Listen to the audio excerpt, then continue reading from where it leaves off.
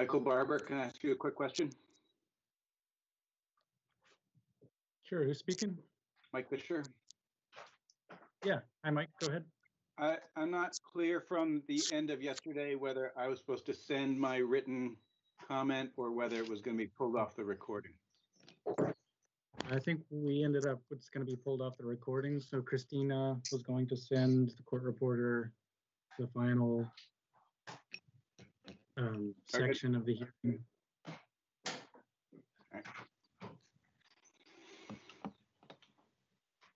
So good morning, everyone. I believe that uh, it is the eight o'clock hour and uh, we'll get started. Um, First things first, I want to announce that uh, at 4:30 today, there will be a public hearing. And um, if we have any time at the end of today's hearing, which it'll probably be unlikely, um, we could take some comment uh, at the end of this hearing, but it, it uh, might be more appropriate uh, for people to um, join into the time period specifically uh, allotted for uh, public comment.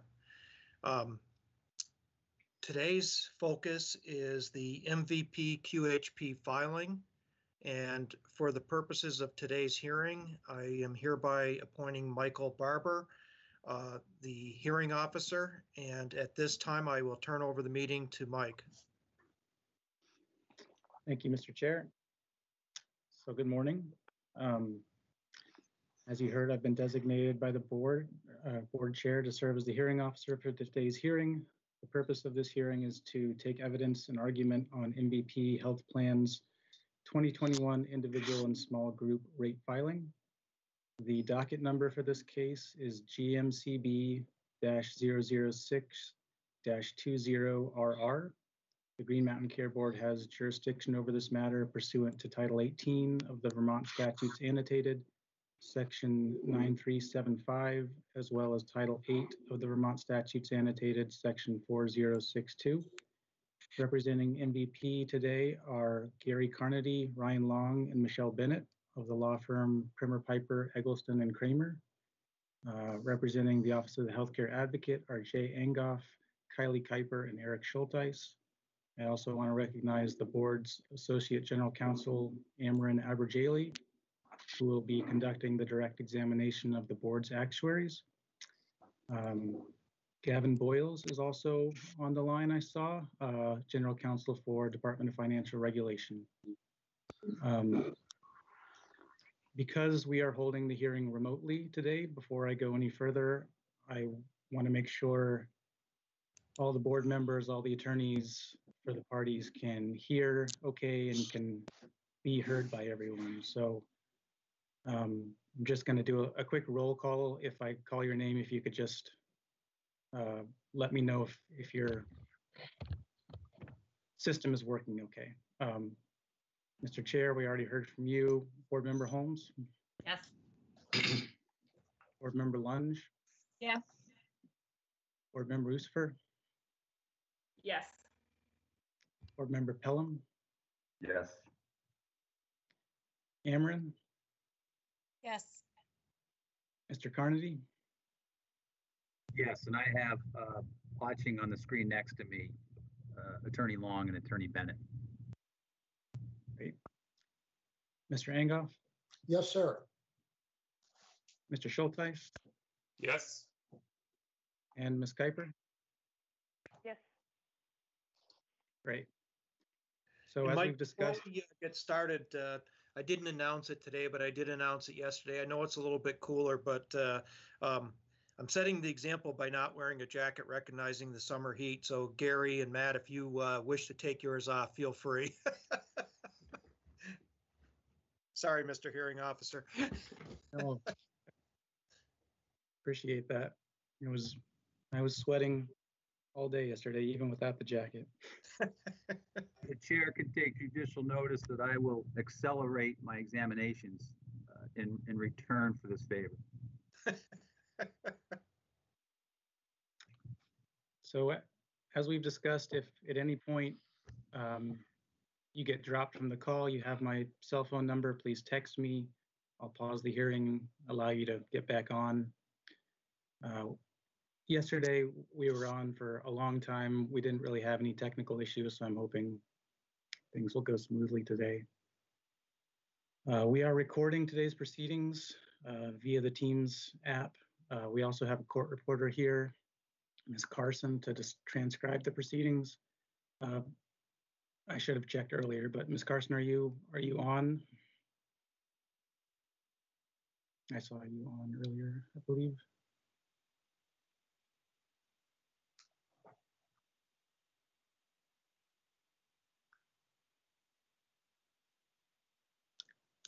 Joanne, can you hear us okay?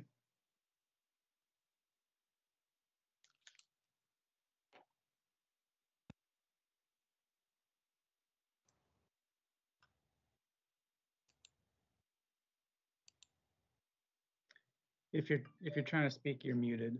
Um,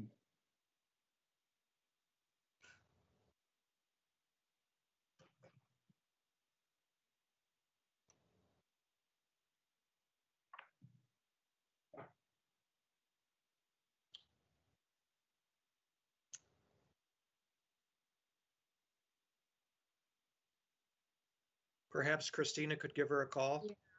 Do you want us to give her a call, Mike? Yeah, I think that's a good idea. I don't want to go any further unless I know we're transcribing okay. Okay. We'll Make sure Thanks. that happens.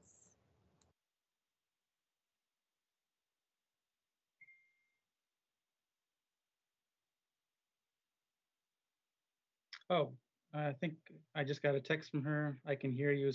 Someone muted her. Okay. Do we She know how to unmute her? She said she can't unmute her screen. Um, Christina, is there a way you can try and do that on our end?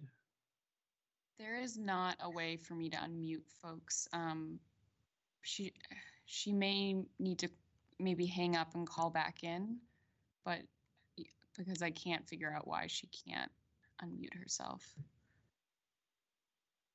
But she says she, she's good to go. She can hear fine, but, um, yeah, if you, Joanne, if you wouldn't mind hanging up and calling back in, just, I know sometimes you ask people to repeat themselves for the record and, uh, we're not going to be able to hear that if, um,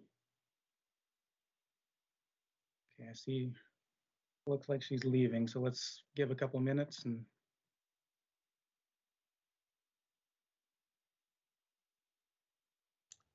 It's a strange new world. Maybe people could test their muting, unmuting right now in case anyone else needs to quickly hop off. Test. Good. Test. All right. I was hoping people would start singing something, a little karaoke, something fun. We're not punch drunk yet, Jess. All right, at like four o'clock today, if we're still on, I'm expecting some singing from Gary, from Matt. They'll end the hearing quickly if I start singing, believe me. Given the screen, I think we could sing the Brady Bunch. The theme from the Brady Bunch. It's the story. I'm back. Good morning. I'm here. Great. great, thank you. Sorry about that. No worries. Okay, um.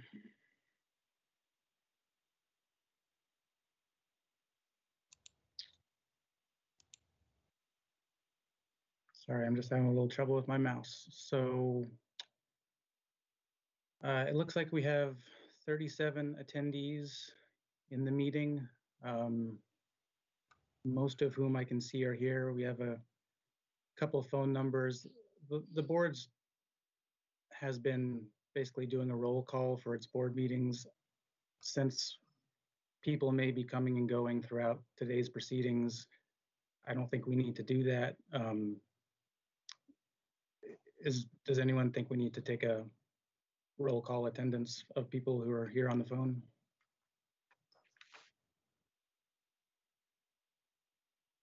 Nope. Okay. So for any members of the public who are present, uh, like the chair said, we will, we will be taking public comment at the close of the, the proceedings today. Um, However, it's unclear when that will be, um, so I can't say when we'll get to the public comment portion of the meeting. And um, if you don't want to sit through uh, what's going to be hours of testimony, we have a meeting this afternoon from 4:30 to 6:30 that is dedicated exclusively to hearing from the public on this filing and the other uh, individual and small group rate filing from Blue Cross and Blue Shield of Vermont. Information about how to participate in that meeting can be found by going to the Green Mountain Care Board's website and um, clicking on the rate review tab. Additionally, you can submit written comments to the board uh, via our website or by regular mail. We will be taking public comments on this filing through July 23rd. Uh, Please do not use the, the chat function of Teams if you're on the computer. Um, That's going to be very distracting for all of us. Um, At this point, oh, we already did the microphone check, muting check. Um, So the last thing before we begin, I just want to remind the board and the parties to exercise caution regarding any information in the binders that has been marked confidential as these matters can't be discussed in a public setting. Uh, The parties have marked documents that contain confidential materials as confidential in the hearing binders. And Mr. Karnedy, I, I wonder if you could just uh, explain to the board how the material is designated because it there's a bit of a difference between the way MVP did it this year and the way Blue Cross did it. Um, just to remind the board how it's how it's set out in the binders. I'm happy to do that. I was actually, uh, walk through, uh, the exhibit list and explain that in, uh, Mr. Lombardo's, uh, exam. So I can do it at that time if you, if you like. That's fine.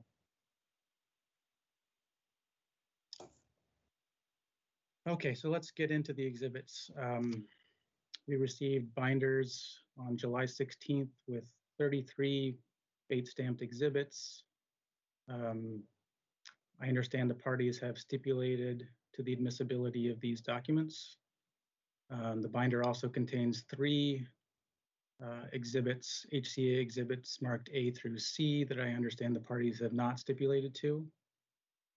And uh, on Friday afternoon, we received four additional exhibits from MVP labeled D through G that I understand the parties have stipulated to as well. Am I understanding all that correctly? Okay, I just want to, I just want to check to make sure the board members have all those documents. Do you have the documents readily available that came in on Friday, exhibits D through G? Does anyone not? I guess.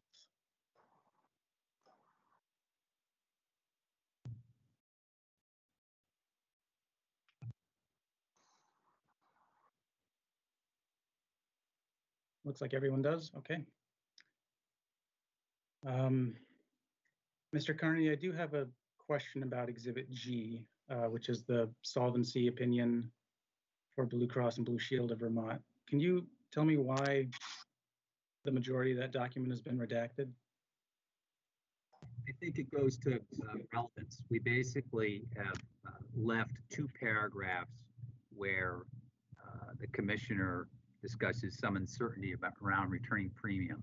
That's all we wanted to ask about, and I thought it would be inappropriate uh, to have the balance of information about Blue Cross Blue Shield solvency in this hearing. It has nothing to do with this hearing. Okay, you have unredacted copies available should the testimony or the questioning um, require, require that? Uh, we can certainly get those. I, I, my expectation is that uh, anything beyond those two paragraphs wouldn't be relevant to these proceedings. I probably object to that. Um, but we can certainly, uh, my team can get copies of those made, certainly. Okay. Um, so I'm assuming neither party has any objection to me ad- ad- admitting uh, exhibits one through 33 and exhibits D through G at this time. Is that correct? No objection. Okay, then I will do that at this time. Um, So that leaves exhibits A through C.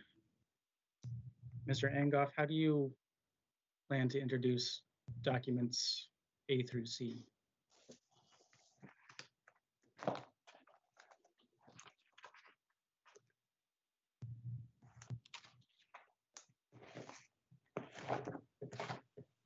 Uh, Mr. Hearing Officer, I'm sorry, I'm unfamiliar with those exhibits. Maybe uh, Ms. Kuiper or Ms.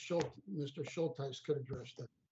Sure. Um, we would like to move uh, the board to take administrative notice of exhibits A through C. Um, both, all three documents are statistics provided by the US Bureau of Labor Statistics. Um, they're relevant because they speak to the price shocks that Vermonters are currently experienced. Unlike um, in the past, we felt that because the coronavirus um, and the economic fallout is evolving so rapidly that we wanted to provide monthly data so we could get a sense of what things are looking like in May and June, um, and that yearly estimates were not going to be helpful to the board.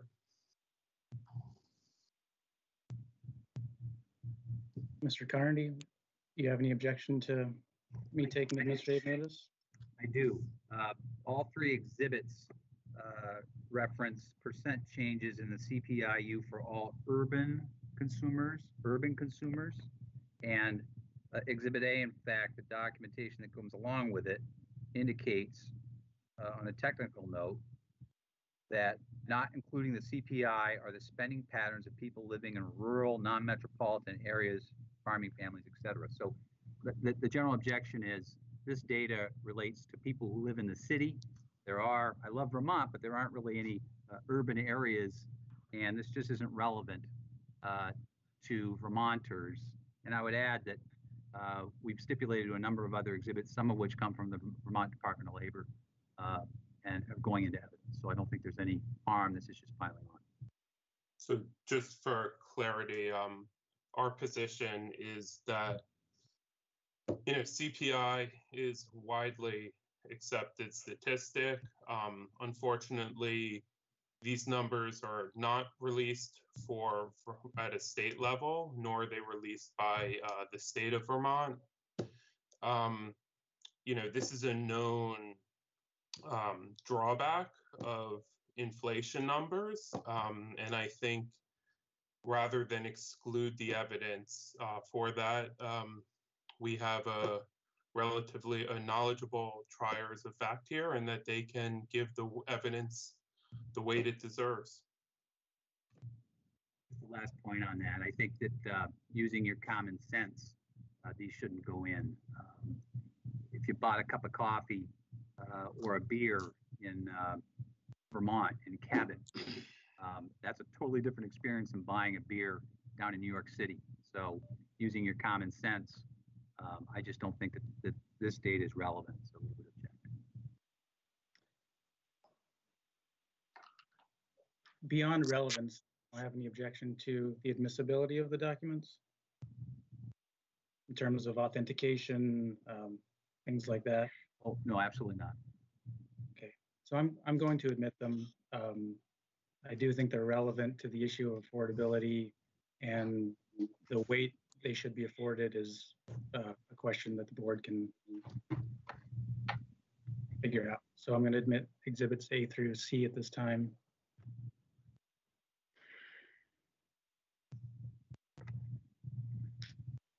So is there anything we need to address before we get into opening statements?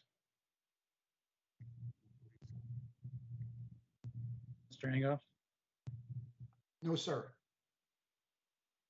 Okay, then, um, Mr. Karnedy, would you like to make an opening, opening statement?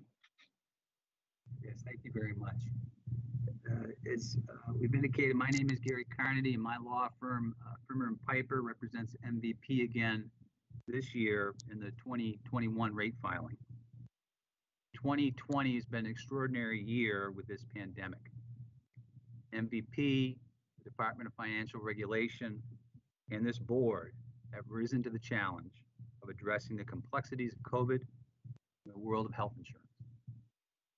For this 2020 rate filing, the evidence will show that the actuaries for L&E and MVP are in agreement on 15 out of the 16 factors L&E identified in its memorandum this year. The evidence will show that MVP is now seeking an increase of 6.06%. The evidence will show that L&E has recommended a rate increase of 5.38%. This difference is around 0.6% depending on rounding. The one issue of disagreement this year is the extent to which COVID will impact rates in 2021. The evidence will show that both L&E and MVP recognize that due to COVID disruptions, even higher premium increases may be required than what they propose. As to the 0.6 difference, they disagree by about 0.3 on whether pent-up demand for surgeries will impact the rate. They disagree by about 0.3, so the other half, on how COVID vaccinations will impact the rate. They disagree on the extent of the impact and how to account for it in the rate increase. We believe L&E is correct on 15 out of the 16 of its rate factor opinions, which amounts to 94%, which is an A, but it's not an A plus. This disputed issue is very important.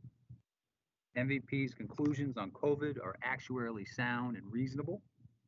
We believe MVP is making tough calls this year, measuring risk and uncertainty based on sufficient data and expertise, which is what actuaries get paid to do. We believe the weight of the evidence and the common sense of the board in considering these issues will result in adoption of MVP's 6.06% rate increase request and a rejection of L&E's rationales on this one rate factor difference. Thank you very much. Thank you, Mr. Karnedy. Mr. Angoff, do you have an opening statement? Yes, I do. Good morning, Mr. Hearing Officer. Good morning, Mr. Chair and members of the board. This year, for the first time, we're asking the board to give the benefit of the doubt to the policyholder. This is not what MVP does, and it's not MVP's job to give the benefit of the doubt to the policyholder. And clearly, that's not what L&E has historically done either. You remember last year, uh, L&E said MVP wasn't asking for enough money, that they should be charging Vermonters more. So what we're asking more than MVP asked for. So what we're asking the board to do is for the first time to give the benefit of the doubt to the policyholder. And we're asking that for three reasons. First, this year, people obviously are suffering more than they ever have before because of the coronavirus pandemic. Second, unlike Blue Cross, MVP's surplus is not an issue in this case no matter what the increase or decrease that the board orders for MVP this year, it'll have a minimal effect, a nominal effect on MVP surplus. Now, that doesn't mean that the board, that, that if, that, that doesn't mean that the board should disregard the facts, of course not. But if there's a range, and there always is a range, the board should err on the side of giving the benefit to the policyholder, not to MVP. Third, there was so much uncertainty this year. Blue Cross has said it, MVP said it, and will continue to say it. With so much uncertainty, again, that's a, that's another reason that the board should give the benefit of the doubt to the policyholder. Second point I'd like to make. The amount that MVP has paid out in 2020 it's already got six months of paid claims data, is very, very important. Both in determining what the rate increase or decrease should be for 2021, and mm. also in determining, assuming that the board believes it has this power, and I, I don't know whether it does or not, but if the board believes the, that it has this power, it should consider whether to order a rebate for 2020 rates in connection with 2020 rates. So I just ask the board to look carefully at the data that MVP has disclosed about their paid claims in 2020 and look equally carefully at the analysis that L&E has done regarding those paid claims and regarding what it thinks those paid claims will ultimately result in in 2020 and to make its own decision as to the level of increase or decrease to order in 2021 and whether or not to order a rebate for 2020.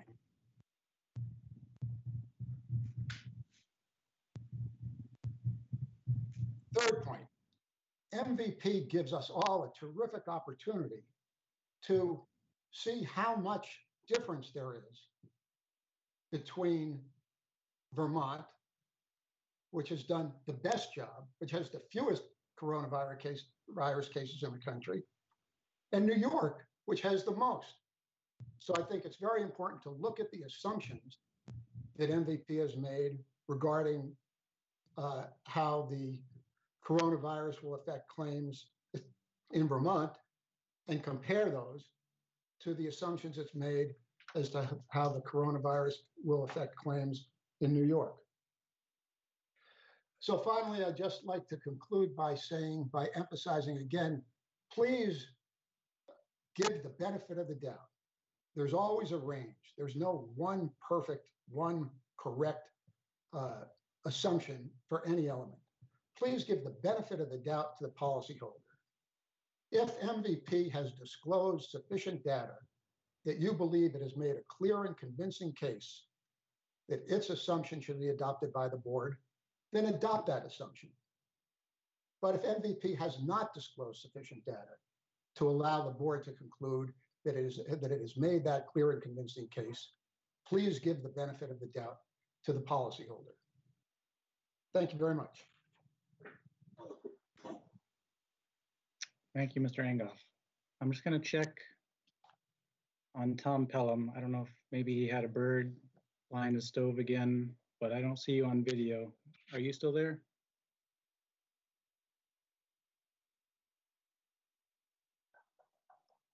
You are, okay. Great.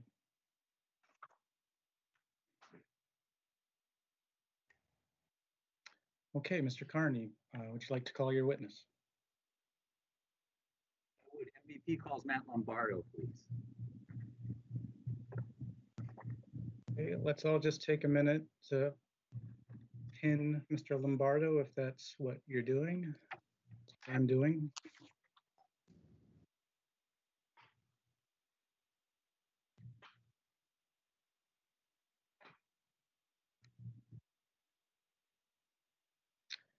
Okay, Mr. Lombardo, are you ready to take the oath? Yes, Would you please raise your right hand? You swear or affirm that the testimony you're about to give is the truth, the whole truth, and nothing but the truth? I do. Okay, Mr. Karnedy, Thank you. Uh, Good morning, Matt, Good morning, Gary. bright and early. Would you uh, please state your full name? Matthew Lombardo, And Matt, uh, who's your employer? MVP Healthcare. And uh, as I understand it, the filer of this rate filing is MVP Health Plan, Inc., correct? Correct. What's the relationship between those two entities? MVP Health Plan Inc. is the nonprofit HMO legal entity under the MVP Healthcare umbrella. And what's your position at MVP? Senior Leader of Actuarial Services. And do you have any professional uh, memberships or certifications? I'm a fellow in the Society of Actuaries and I'm a member of the American Academy of Actuaries. And how long have you worked in the healthcare insurance industry? About 15 years. And how many years at MVP? Uh, 12, 12 and a half years approximately. And uh, can you tell the board your involvement in Vermont rate filings for MVP at the Vermont Care Board? Yeah, so um, since the ACA rolled out in 2014, um, I've I've overseen these small and individual Vermont merge market rate filings every year. So this is the seventh rate filing, eighth, seventh, eighth rate filing I'm working on. And uh, what are your job duties at MVP? Um, in addition to pricing uh, and setting premium rates, I'm responsible for forecasting our state programs in New York and commercial lines of business, uh, reserving or IBNR, um, financial competitive intelligence. I, I oversee uh, value-based arrangements and uh, strategic initiatives. Matt, would you turn to the exhibit binder, please, and go to the exhibit list? Okay. And what I want to do is just walk through these exhibits. They're all in evidence now, but sort of acclimate everyone to what we have and uh, what you have knowledge of, okay? Okay. So if you look at exhibits one through seven on the list, that includes MVP's rate filing, responses to objections. And uh, you'll also note that, for example, exhibit two has a 2A, which references confidential. So the lettered exhibits are the confidential versions, the complete versions uh, of the exhibits, correct? Correct. And you're familiar with uh, one through seven, uh, correct? Correct. And exhibit eight is your CV that you prepared, correct? Correct. Exhibit nine is your July 7th pre-filed testimony, correct? Correct. You've reviewed it and are familiar with it, right? Yes. And exhibit 10 is the uh, L&E actuarial opinion of July the 7th, their memorandum, correct? Correct. You've reviewed that and are familiar with it. Yes. Exhibit 11 is a DFR solvency analysis letter that relates to MVP, correct? Correct. And you've reviewed that and you're familiar with it. Yes. And Exhibit 12 is an actuarial standard, uh, standard of practice number 26, correct? Correct. You've read that and are familiar with it. Yes. And Exhibit 13 is MVP's calculation of LNE's July 7th actuarial memorandum rate impact, correct? Correct. And uh, you prepared that and are familiar with it, right? Yes. And then Exhibit 14 is MVP's supplemental pre-filed testimony. You authored that and are familiar with it, correct? Correct. And then Exhibit 15 is pre-filed testimony of Jackie Lee, Ms. Lee of LNE, correct? Correct. And you've read that and are familiar with it. Yes. Okay. And then if you would please go to the third page, third page of the exhibit list, you'll see a heading. Well, let me know when you're there, Matt. I'm there. You see a heading MVP Health Plan Inc. Do you see that? And there's there's lettered exhibits D, E, F, and G. Yes. So uh, Exhibit D, that's the DFR emergency rule on COVID, correct? Correct. And you're familiar with that? Yes. And Exhibit E is a draft, it should say draft in the list, it doesn't, but a draft insurance bulletin from, from DFR, correct? Correct.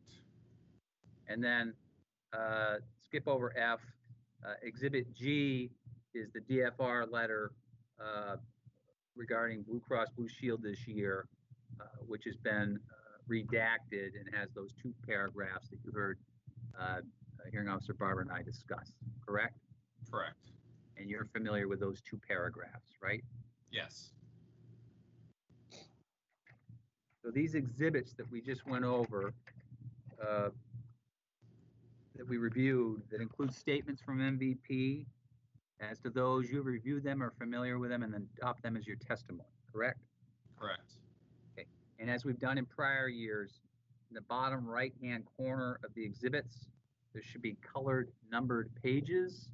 And as we go through this, uh, I'll do my best to reference those page numbers. And if you could do the same, please. Okay. Okay, Matt, so first I want to start with an explanation of the rate increase at a high level. Um, What is, what was the original request for a rate increase in MVP's original filing? In our proposed filing that we submitted on May 8th, MVP requested 7.34% increase to our 2020 rates. Okay, Matt, would you please go to Exhibit 10 in the binder? Exhibit 10 is L and E's memorandum. And if you would go to page 17, please.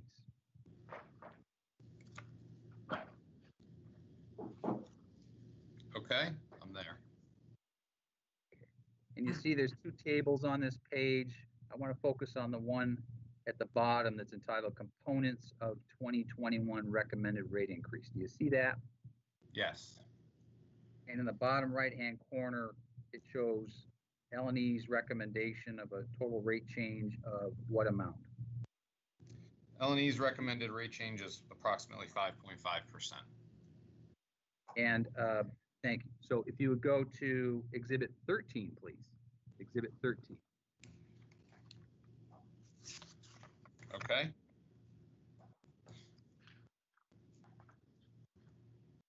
And on page two, there's a uh, MVP calculation of L and E's actuarial memorandum rate impact. Do you see that, the title of the document? yes, So, uh, as I understand it, this year, the board asked MVP to check the math, check the calculation of L and E's assumptions and run it through the rate filing uh, to confirm that their 5.5 number, uh, as a matter of math, was accurate. Is that a fair summary? yes. And uh, what does this memorandum, Exhibit 13, show? So LNE's opinion had approximate rate changes, um, and there were three changes that were made. So everything was an approximation.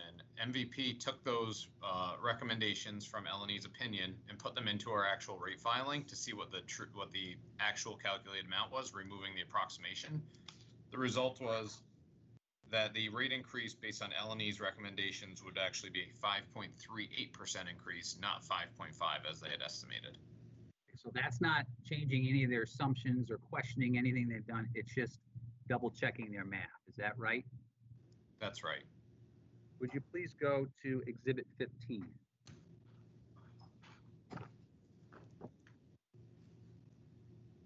And this is the pre-filed testimony of uh, Jacqueline Lee. Okay. And go to page number seven, please.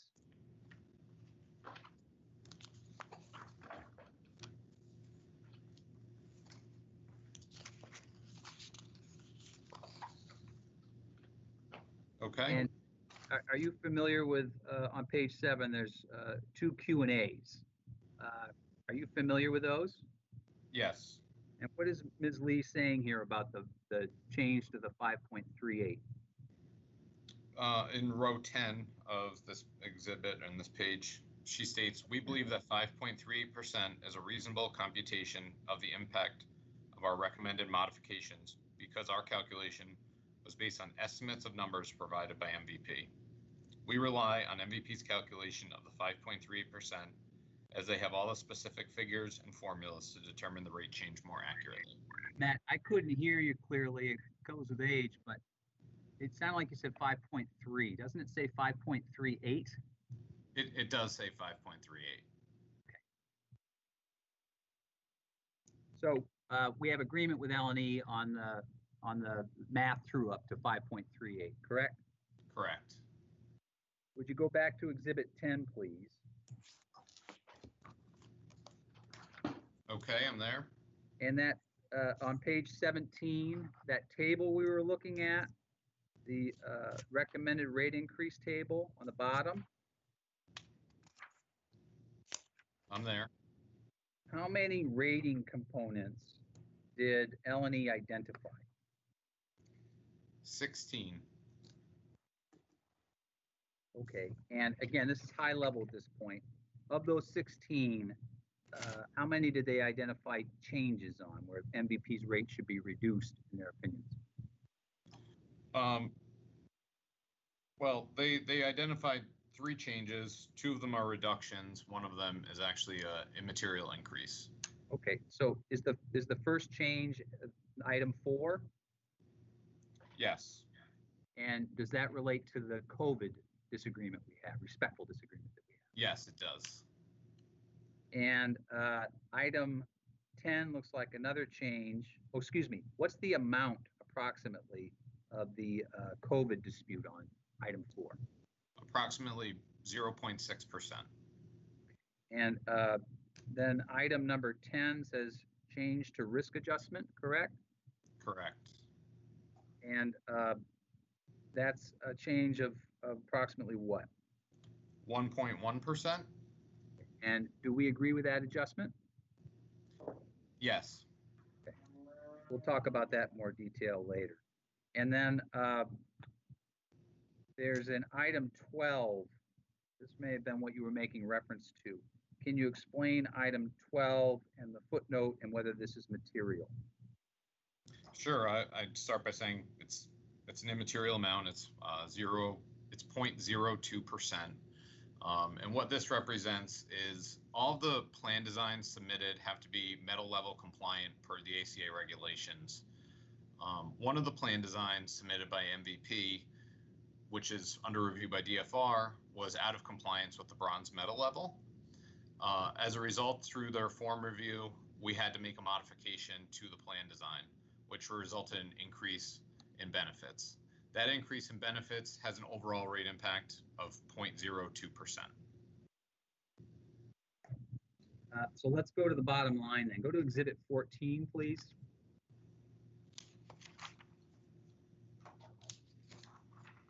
Okay, And this is your supplemental pre-filed testimony that was filed after you got LNE's report, correct?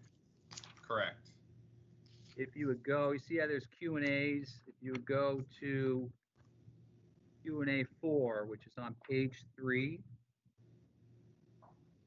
Okay, and you can refer to that, but my question is, uh, what can you describe to the board as a result of the agreement with LNE, what the reduction is from our original filing? sure. As you referenced earlier, uh, we agree with the risk adjustment change and the change in the actuarial value. We disagree with LNE's recommendation for our ch- changes to our COVID assumption. So if we take LNE's recommended changes for risk adjustment and the actuarial value, uh, we arrive at a 1.28% reduction from the 7.34% proposed increase for an ultimate rate request of 6.06%. So the delta this year between LNE and MVP is 0.6, correct? Approximately 0.6%. Um, if you would go back, please, to Exhibit 10, LNE's memorandum, Exhibit 10. Okay, And go to page 16, please.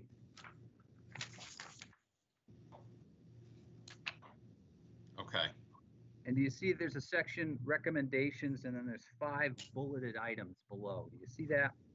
Yes, So again, this is high level just to identify issues for the board that we'll talk about in more detail. Uh, the first item uh, references considering updated hospital budget information. Do you see that? yes, And do we have general agreement on that? yes, And the second item we've talked about, that's the COVID adjustment. That's where we have disagreement, correct? correct. And uh, what is the third item and do we have agreement on that? The third item relates to the Unified Rate Review template, which is a federal template called the URRT. Um, essentially, LNE, in the instructions for, for the URT, um, it directs carriers to place the the net reinsurance factor into a different location than where MVP put it. We agree with LNE that we should move it. It has no impact on the actual rates. And the next item is the updated uh, risk adju- adjustment, which we've already referenced, and you'll talk about in more detail in a moment, correct? Correct. And then the final item is this updated actuarial value. Is that what you just discussed, the non-material .02? Yes.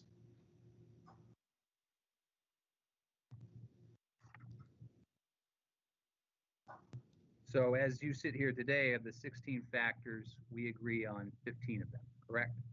That's correct. All right, so let's talk about where we, what we don't agree on, and that would be uh, the COVID issue. At first, I want to talk about MVP's position on it, then I want to talk about L and E's position on it and the differences, okay? Okay. So let's, let's uh, go to, I think you had some pre-filed testimony on this. Uh, Go to Exhibit 9A. I would note that's a confidential exhibit, but I don't believe you'll be talking about anything confidential. But I just want the board to have the whole item in front of them. Okay. And there's a section on COVID that starts at page 20, Matt. If you go to page 20, Okay.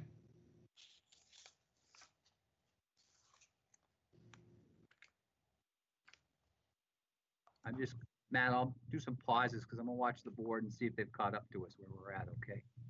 That works Right, for I me. see- I see nods, okay. Uh, I, I, how does, how does the board like our big thick binder this year? It's really easy to go through, isn't it? We're concerned that you might be charging by the page, Gary. It's by the I word, will- actually. Uh, But this is on As the am record, so I should- I should stop, stop talking. Okay, so Matt, we're gonna talk about COVID, and as I indicated, starting at page 20, you discussed this in your pre-filed testimony, correct? Correct. So it's an important issue. I want to expand on it a little bit. Um, and we want to talk about how the COVID pandemic is impacted uh, and affected MVP's proposed 2021 rates. So let me ask you this question first. Um, there's been decreased utilization in uh, the early part of 2020, correct? Uh, yeah, January and February were pre-pandemic levels, so they were normal, but um, we did see decreases to paid claim volume in March, April, and May. In June, though, uh, across our enterprise, we did see paid levels return to much more uh, normalized expectations, more like pre-pandemic levels. So could you explain to the board, and take your time, uh, how this, the decrease in utilization in 2020 will result in, in your opinion, an increase in utilization in 2021? Sure. Um, so for approximately two months, uh, elective procedures were canceled due to all the stay-at-home orders that were in place. And um, essentially, MVP analyzed the cost of elective procedures across our commercial block. They were approximately the same in New York and Vermont. It was around $45 per member per month. Um, and we recognize that COVID, that number of cases is different in New York versus Vermont, but the fact that um, there were stay-at-home orders and cancellations impacted both states in a similar fashion. Once um, we're all we're now assuming that providers are going to be able to increase capacity for two reasons. One is that patients need care. Uh, so if somebody had a bad shoulder or bad knee or and they deferred an elective procedure, um, we're assuming that the provider community wants to actually treat patients. That's what they do, and they're going to find a way to help uh, bring less pain or you know to, to solve this issue for their patients. The second item is excuse me is that we're assuming that 20% of elective procedures are just going to be outright canceled. Uh, that was based on a 2010 Society of Actuaries paper where they had a range of 5 to 20% of procedures were canceled. So we actually went with the higher end, which has the least amount of impact going forward. Um, and it basically went from a moderate scenario at 5% to a severe uh, pandemic scenario was at 20%. So what we're assuming is that if you cancel 20% of procedures, but providers increase uh, increase their capacity, which was based on our you know conversations with our medical management team, they did they did confirm that elective procedures are generally done at full capacity, but based on conversations we've had with providers, um, we know that they're willing to work extra hours, work weekends, et cetera, to, to do exactly what we talked about, which is to provide care to patients as well as make up for lost revenue uh, in those two months. So the way we modeled it out was that it would take a little bit of time for providers to implement this increase in capacity. It's not something that we assume they could turn the switch on immediately. So we assume that beginning in August of 2020, providers would operate at a 10% additional capacity, so 110%. And that's using two months of COVID, stay at home orders, and cancellations of elective procedures, and no further outbreaks of COVID.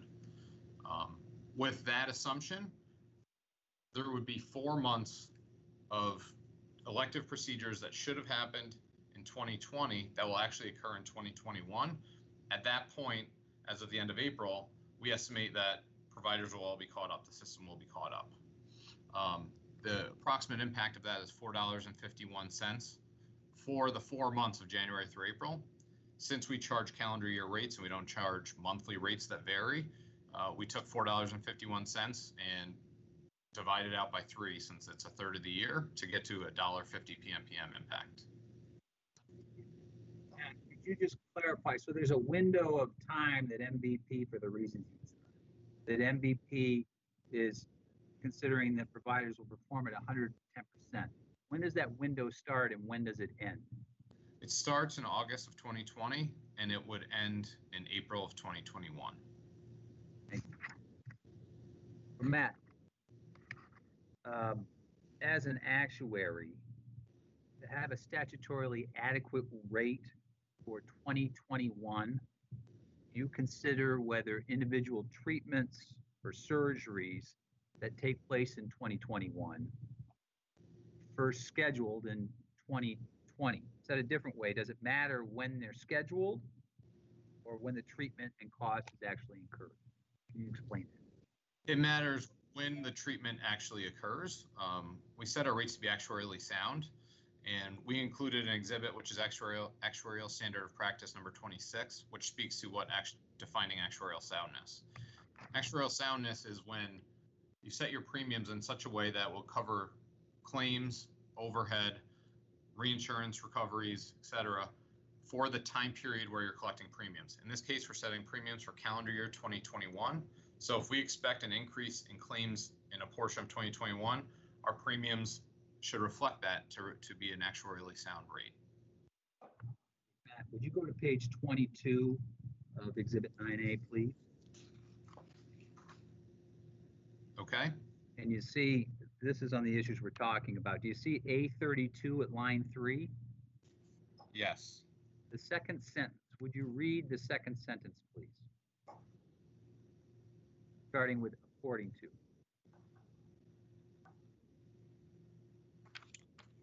Um, according to actuarial standard of practice number 26, section 2.1, actuarial soundness is de- defined as for business in the state for which the certification is being prepared and for the period covered by the certification, projected premiums in the aggregate, including expected reinsurance cash flows, governmental risk adjustment cash flows, and investment income, are adequate to provide for all expected costs, including health benefits, health benefit settlement expenses, marketing and administrative expenses, and the cost of capital.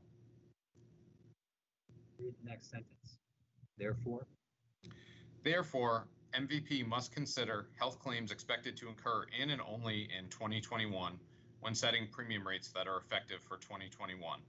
If MVP were to reduce it in 2021 for claims that were expected to occur but did not in 2020, those rates would be considered inadequate based on actuarial principles. okay, Matt. So what actual, what actuarial concerns do you have if the board reduces rates for 2021 based on reduced 2020 claims in the recent months during the COVID crisis? The actuarial soundness of the rate that would be approved would be in question and it would be concerned. So uh, why aren't you assuming that 2021 is going to be the same as 2020?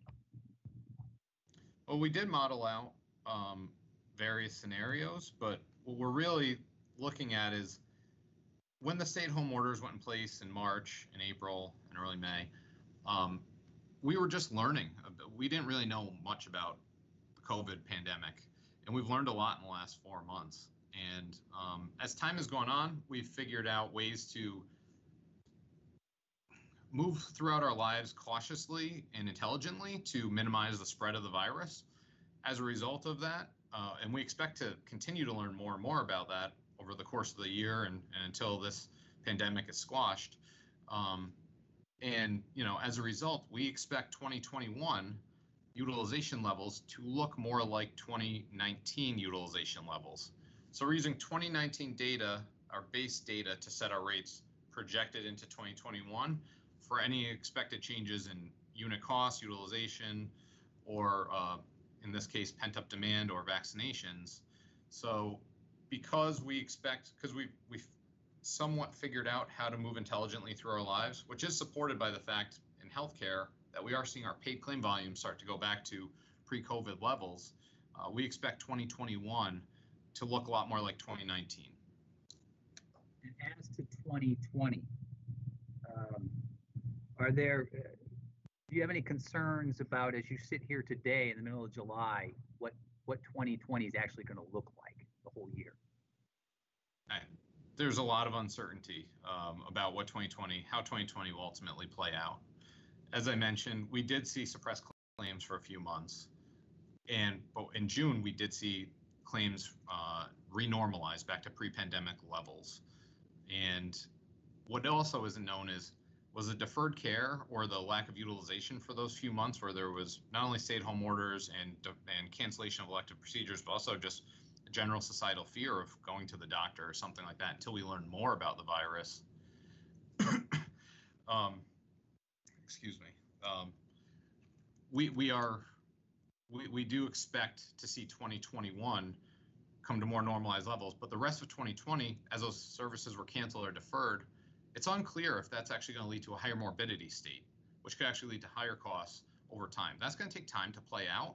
That may not even be by the end of 2020. That may be into 2021 or even 2022. And do you have the 2020 risk adjustment yet? We do not have 2020 risk adjustment. We received 2019 risk adjustment uh, this past Friday. And, and how would help that help you in terms of determining what's going to happen in 2020? Rates are set to be actuarially sound, uh, or in and to be to the market-wide average rate level or the market-wide average risk level. So we receive risk adjustment from CMS uh, on an annual basis. We don't receive the first five months of the year or six months of the year risk adjustment level. And what we have to do is take our claims, and if we're paying into the system, which means we have uh, a less morbid population than our competitor, and they have a higher morbidity population, risk adjustment levels the playing field so that we're on the same, so that you're you're removing morbidity from the equation and how we're setting our premium rates. Uh, we don't have that information for 2020. We only have it for 2019. It's unclear right now exactly how 2020 is even going to play out as a result of this, um, but time will tell, and we'll see as as time goes on. Next, I want to ask you about uh, the impact of a potential vaccine. Would you please go to page 21? You'll see at the top of 21, there's a paragraph that starts additionally, first full paragraph. That's where we start talking a bit about vaccines. But I would just want to ask you uh, to please describe uh, your thoughts about uh, vaccine and how that might impact rates. Sure.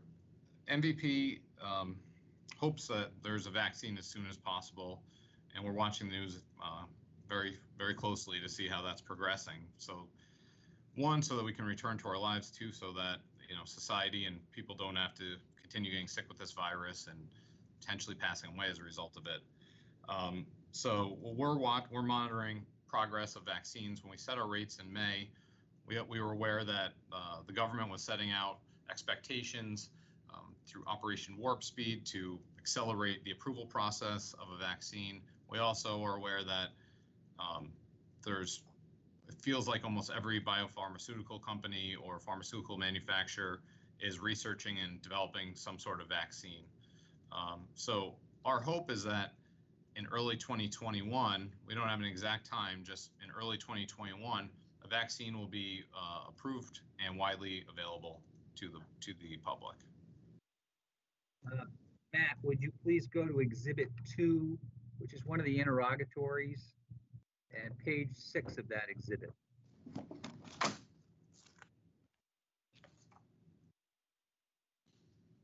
Okay, I'm there. Exhibit 2, page 6.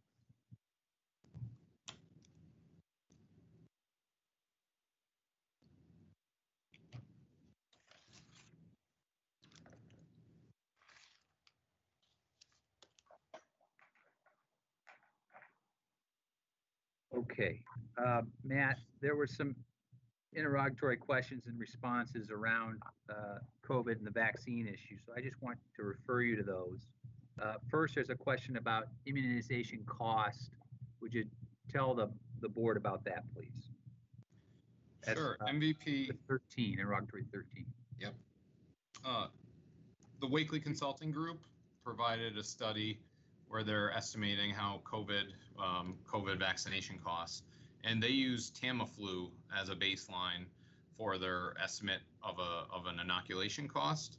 Um, MVP used that assumption, but based on our own data and our own cost of Tamiflu, which was $75 per dose. So we're assuming that each vaccine will cost $75.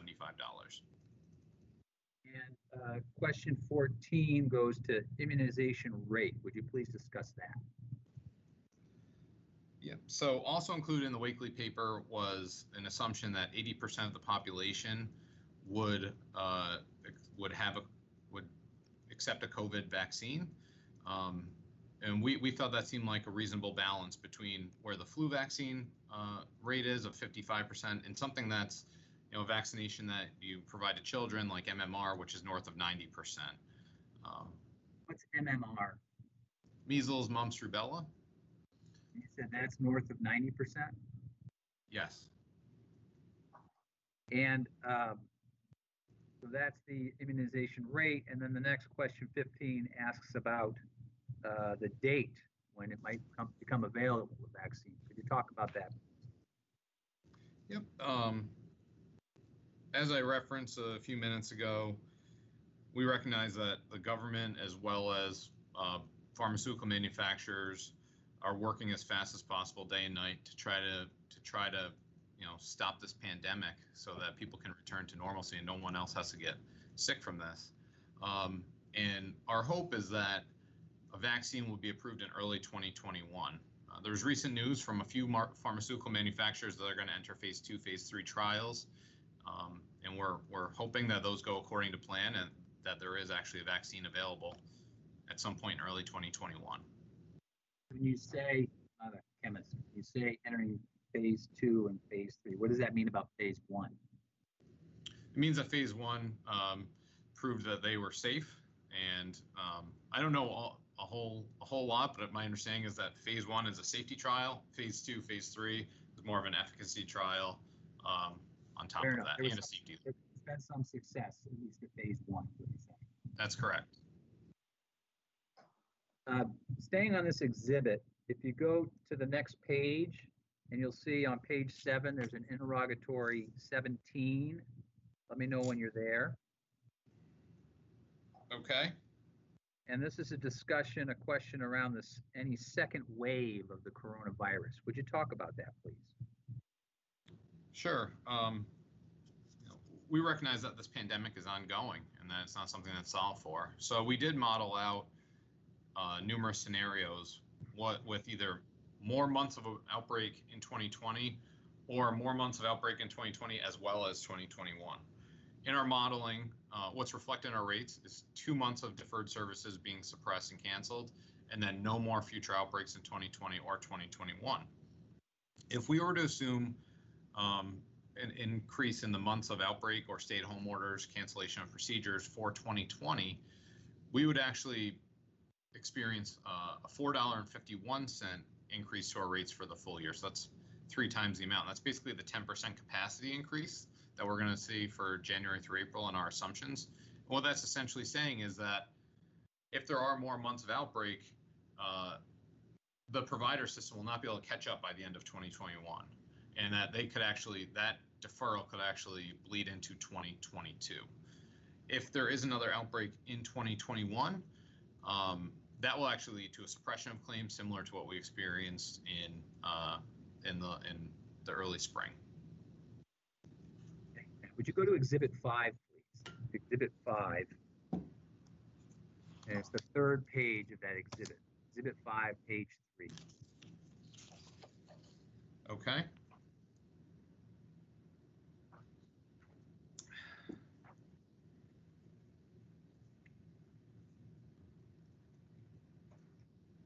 Okay, so uh, there's an interrogatory that starts on the very bottom, number eight, and it asks about COVID's effect on non-benefit costs, such as travel, overhead, profit, adju- claims adjudication, et cetera, et cetera. Would you please speak to those issues?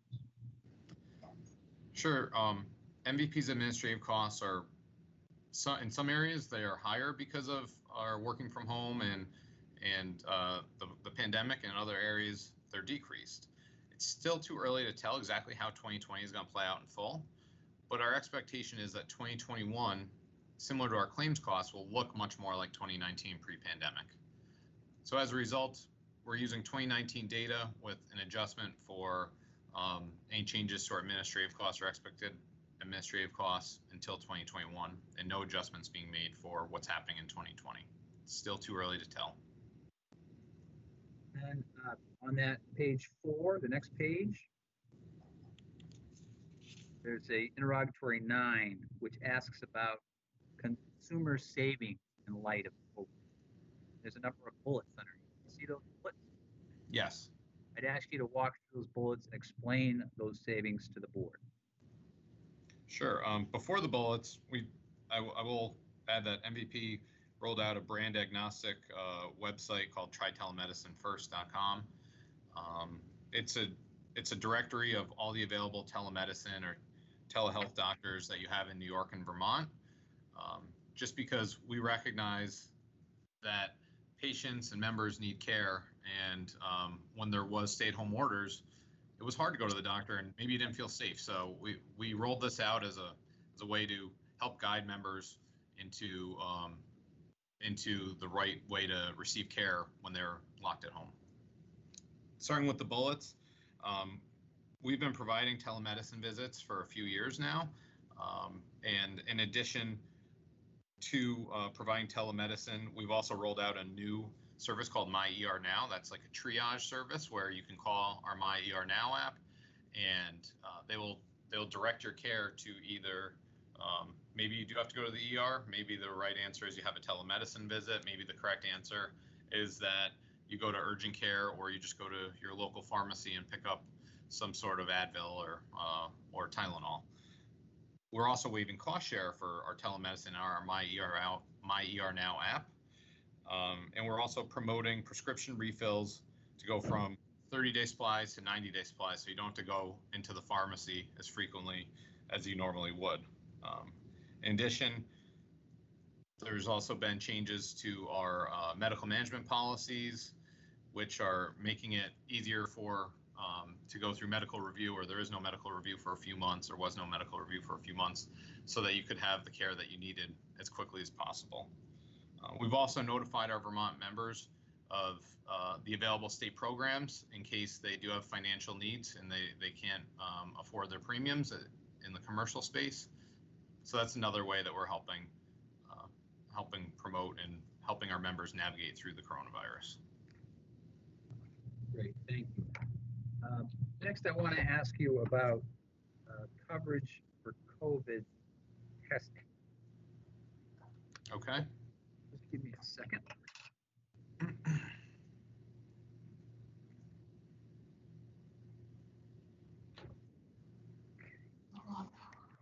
So does MVP in this 2021 rate filing include COVID, COVID testing costs in our uh, analysis? We are not. So would you go to Exhibit D, please? Exhibit D is in dog. Okay, And you see that's an emergency rule. If you look at the top, emergency rule H 2020-03E E from DFR regarding coverage of COVID-19 diagnosis, treatment, and prevention. Do you see that? yes, And you're familiar with this document. yes, I want to focus on COVID uh, testing. So if you would go down to section 3A, section 3 says coverage of COVID-19 diagnosis. Would you read the first sentence of 3A, please? When medically necessary or directed by the state or federal government, health insurers shall cover any COVID-19 testing performed by the Center for Disease Control, the Vermont Department of Health, or a laboratory, laboratory approved by CDC or VDH with no co-payment, co-insurance, or deductible requirements for members. And uh, this is a two-page uh, document, correct? The uh, rule is two pages, correct? Correct. And that term medically necessary, is that defined in this rule? It is not. Okay, would you go to uh, section 3B and read the sentence, please? Health insurers shall cover provider office or urgent care visits and emergency services visits to determine whether COVID-19 testing is medically necessary with no co-payment, co-insurance, or deductible requirements for members. So in a nutshell, what is 3B saying? It's saying that um, when COVID-19 testing is medically necessary, there will be no charge to members, whether it's copay, deductible, or co-insurance. Thank you very much. Now, Matt, would you turn to Exhibit E, please? Exhibit E.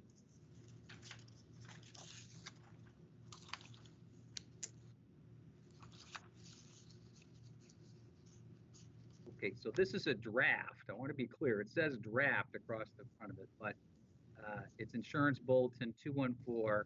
and It's entitled Medically Necessary COVID-19 Testing. Do you see that?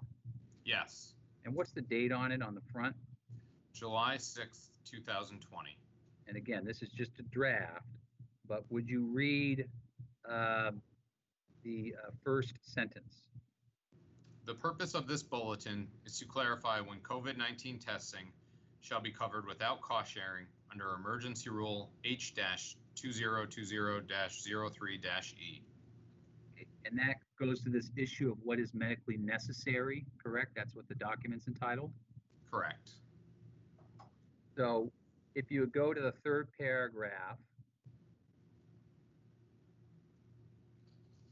says, in the department's view, medically necessary testing includes all testing, and then it goes on from there, correct?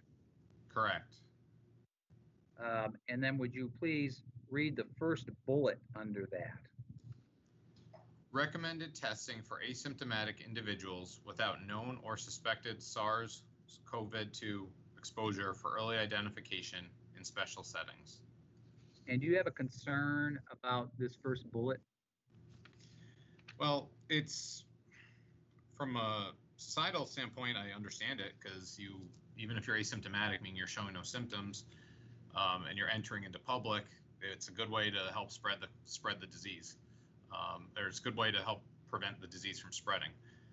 That said, though, uh, from a from an actuarial soundness perspective, there is concern because um, this kind of opens up the door to testing uh, across the board under almost any scenario. So you were talking about uh, the term asym- asymptomatic individual, correct? Correct.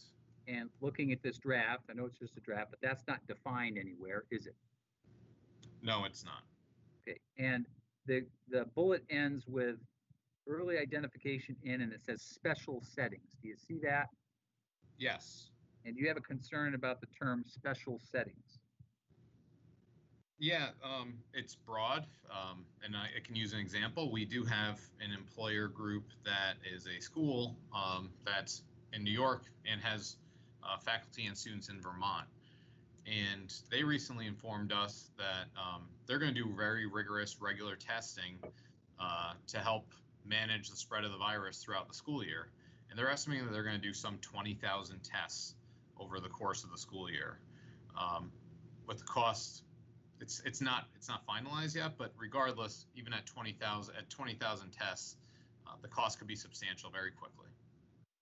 So that would be like an occupational setting. Do you know if that would fall under this definition of special settings? Um, it's not defined what a special setting is, so I would assume that it would fall under a special setting. But you don't know because it's not defined, is it? No, And are you concerned about these costs uh, and uh, actually figuring out the amount that would rise to an actuarial level of reasonableness so you could include it in a rate file? Uh, yeah, there's definitely concern on our part. It's a it's a big unknown. Um, what we're hoping is, as we talked about earlier, that there's a vaccine widely available in early 2021 that would mitigate uh, the need for testing on a regular basis, especially by asymptomatic individuals. Um, but if the vaccine isn't approved for quite some time into 2021, we assume that there is going to be rigorous and, hot, and a high volume of testing that's going to occur until that time. And some of that could be this occupational testing, correct? Correct. All right, thank you. Let's now talk about LNE's position on COVID. If you go back to Exhibit 10, which is LNE's actuarial memorandum. So Exhibit 10, page 9.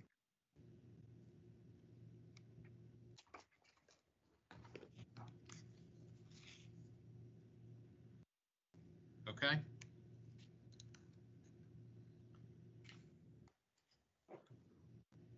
Okay, so on page nine, you see a number four heading. It's about four paragraphs down that says changes to population morbidity adjustments. Do you see that? Yes. Okay, so this is the section in LNE's report on COVID, correct? Correct. So, uh, as I understand it, pages nine and 10, nine into 10, uh, provides a summary of MVP's positions on COVID and assumptions, correct? Correct. And if you would please go to the third paragraph under that number four heading. That third paragraph starts with as a result. Let me know when you're there. Okay. And in this paragraph, there's the second sentence makes reference to MVP relying on a Society of Actuaries research paper. Do you see that? Yes. So uh, we relied on data from the Society of Actuaries, correct? Correct. And did LNE have any objection to that reliance? They did not. In fact, uh, aren't Mr. Dillon and Ms. Lee, aren't they members of the society? Yes. And then the last sentence makes reference to based on information from the company's medical management team, and it goes on from there. Do you see that? Yes. And did LNE object in any way with uh, the actuaries at MVP relying on the medical management team providing them information? They did not. Okay, so at the top of page 10,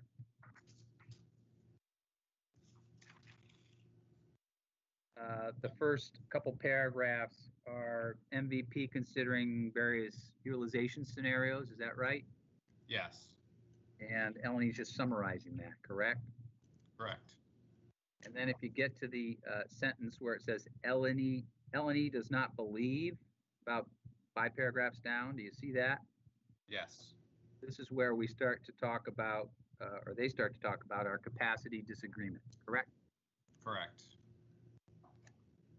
Now, is, can you read that sentence, please? The LNE does not believe sentence. Providers have had an opportunity to receive Oh, financial Matt, I'm assistance. sorry, Matt, I'm sorry. Can you read the sentence above that, please? LNE does not believe that the assumption that providers will run at 110% capacity is adequately supported based on the following. Um, And then there's three bullets underneath regarding LNE's assumptions, is that correct? Correct. And uh, I understand you have two problems with their assumptions, is that right? Two problems? Yes. So would you please read the first bullet?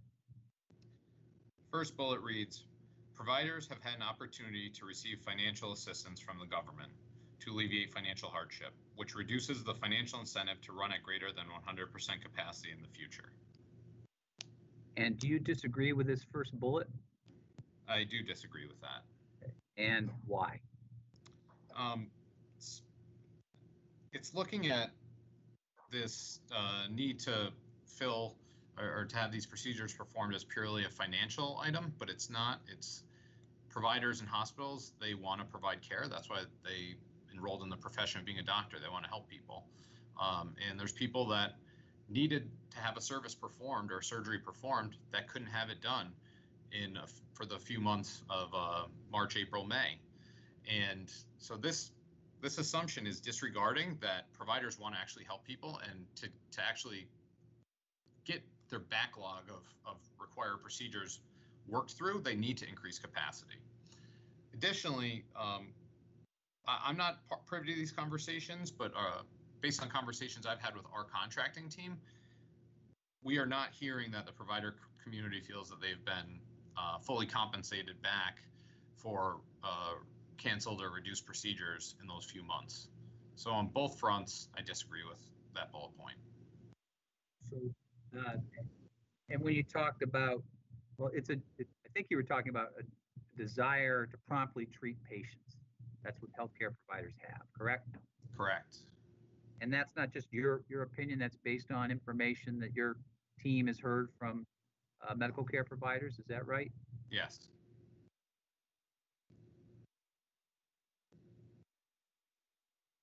And is it fair to say, uh, you talked about the financial piece, that they do want to generate uh, as much revenue as they can in 2020?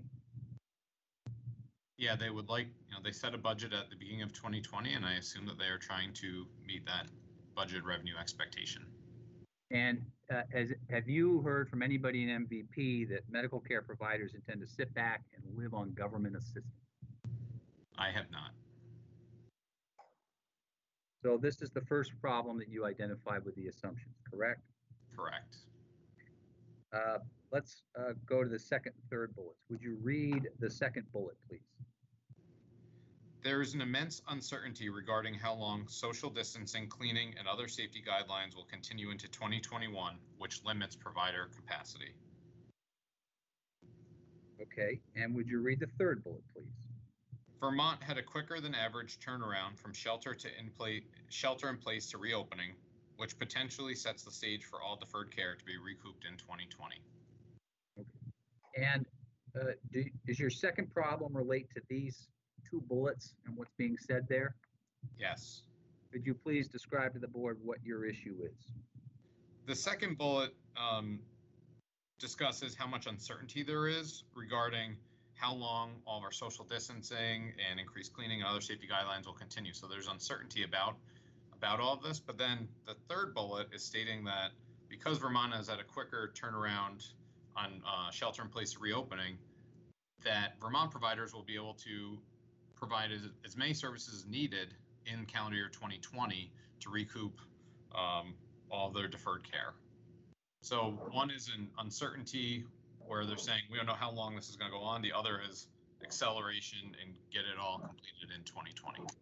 Well, to be clear, the second bullet says immense uncertainty, doesn't it? It does.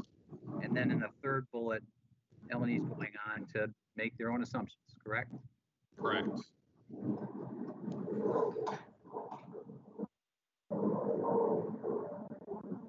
Getting some feedback. Yeah. Some people could go on mute. Everyone, please check their mics. Make sure they're muted. Great. Is that better, Gary? Much better, thank you. Matt, did you hear me? Yep, I think so. Would you please, would you please read the sentence that starts L&E recommends under the three bullets? L&E recommends that the adjustment for COVID-19 pent-up demand be reduced to 0.0%.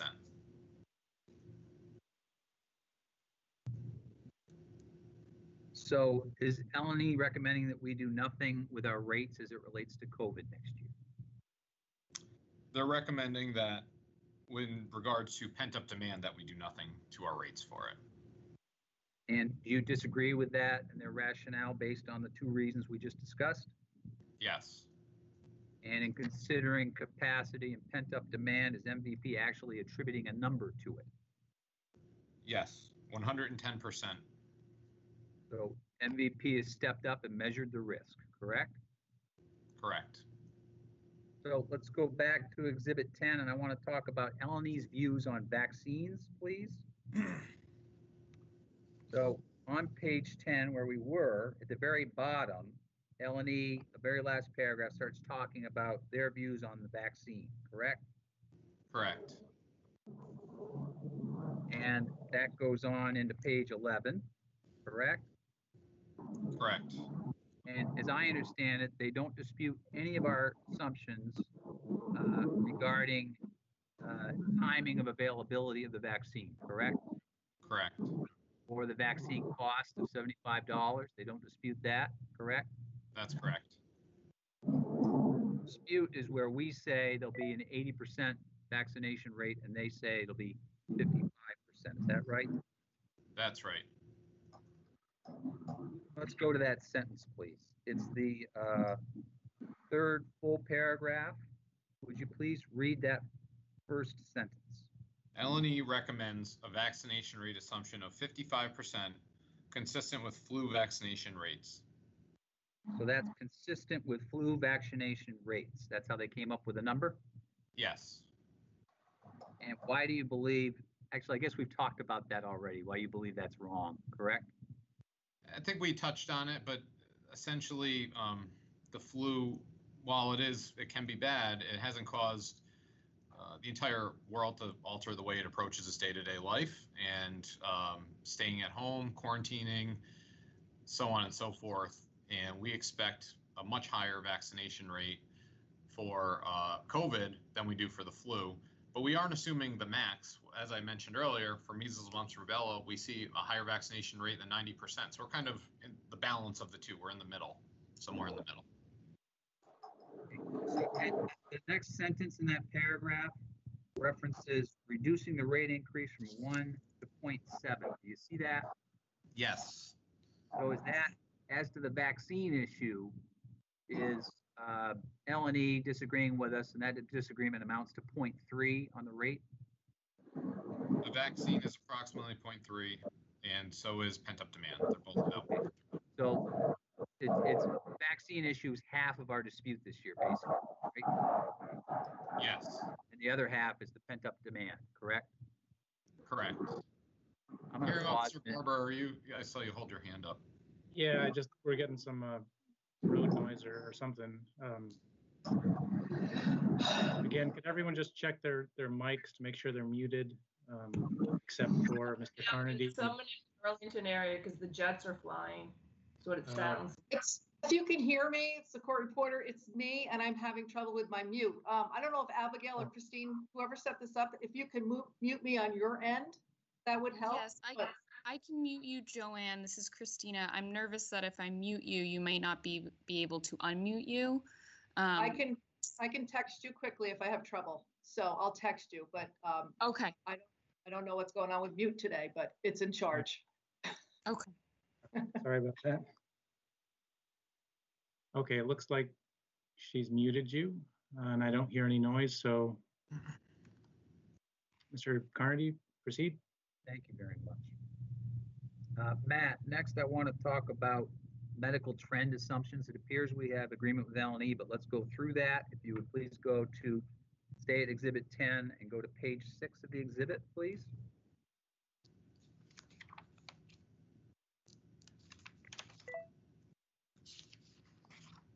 Okay,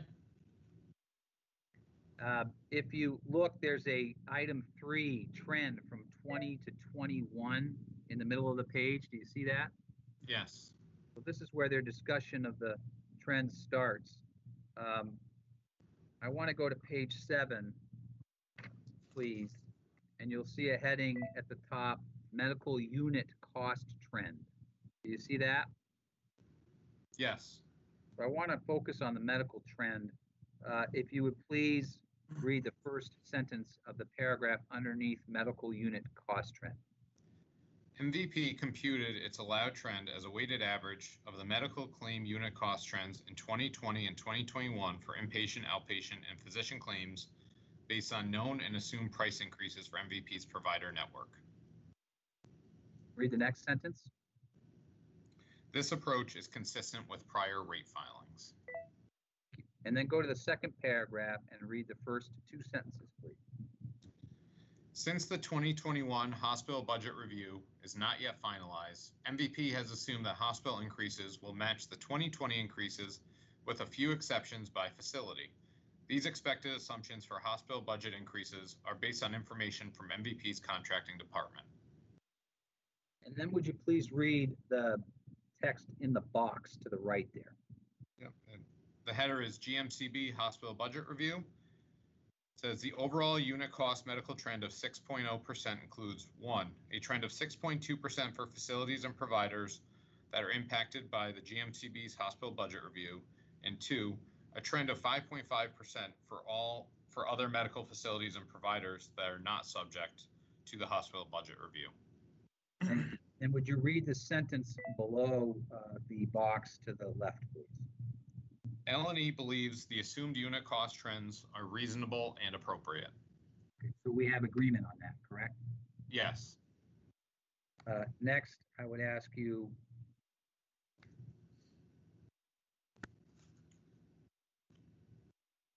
to go to page eight, please. Okay. And uh, as I understand it, the second paragraph involves L and E summarizing some independent trend calculations that they did. Yes. Okay. And then if you could read the third paragraph that starts based on. Based on the above analyses, LNE considers the assumed utilization trend of 1% to be reasonable and appropriate. Okay, so we have agreement on that, correct? Correct. And then uh, would you please read the first sentence under total allowed medical trend? Based on the information available, LNE considers the total allowed medical trend of 7.0% to be reasonable and appropriate. Okay, so we have agreement on that, correct? Yes, correct. Okay, And then in the next paragraph, it's the fifth paragraph uh, on the page. Uh, Would you please read the last two sentences of that paragraph, starting with due to? Due to the disruptions from COVID-19, it appears likely the submitted hospital budget request will be higher than last year. If this is the case, it may mean that a higher premium increase is necessary. And do you agree with that? Yes, my understanding is there's an additional item included in the proposed hospital budgets to account for uh, COVID, one-time adjustment for COVID lost revenue. And uh, would you please describe to the board, if they're familiar with the challenge of the timing of the hospital budget process, and uh, also talk about what uh, the board is having us do differently this year in terms of briefing that issue? Sure. So every year there's a little bit of a timeline issue um, where our rates are submitted in May and approved in early August.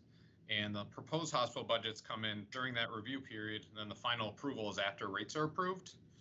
Um, this year, due to the pandemic, there's a little bit of a push. The, the proposed hospital budget timeline is pushed out a little further. Um, but it is before the approval of our rates will be, will happen. So um, the board is allowing carriers to provide a little uh, memorandum summarizing the impact of the proposed hospital budgets on our rates. I'd like to talk about uh, the risk adjustment, I believe there's agreement. If you would go to bullet number four, please. It's on page 16.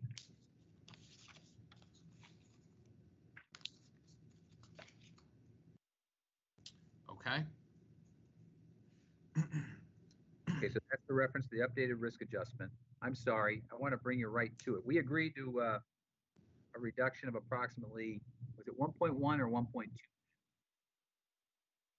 On, on the risk adjustment. I We agreed with LNE's calculation, um, and that was 1.1%. Okay.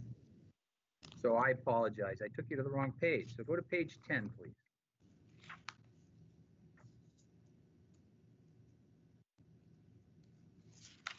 Excuse me, page 13. That's the last mistake I'll ever make. Page 13. There it is, finally.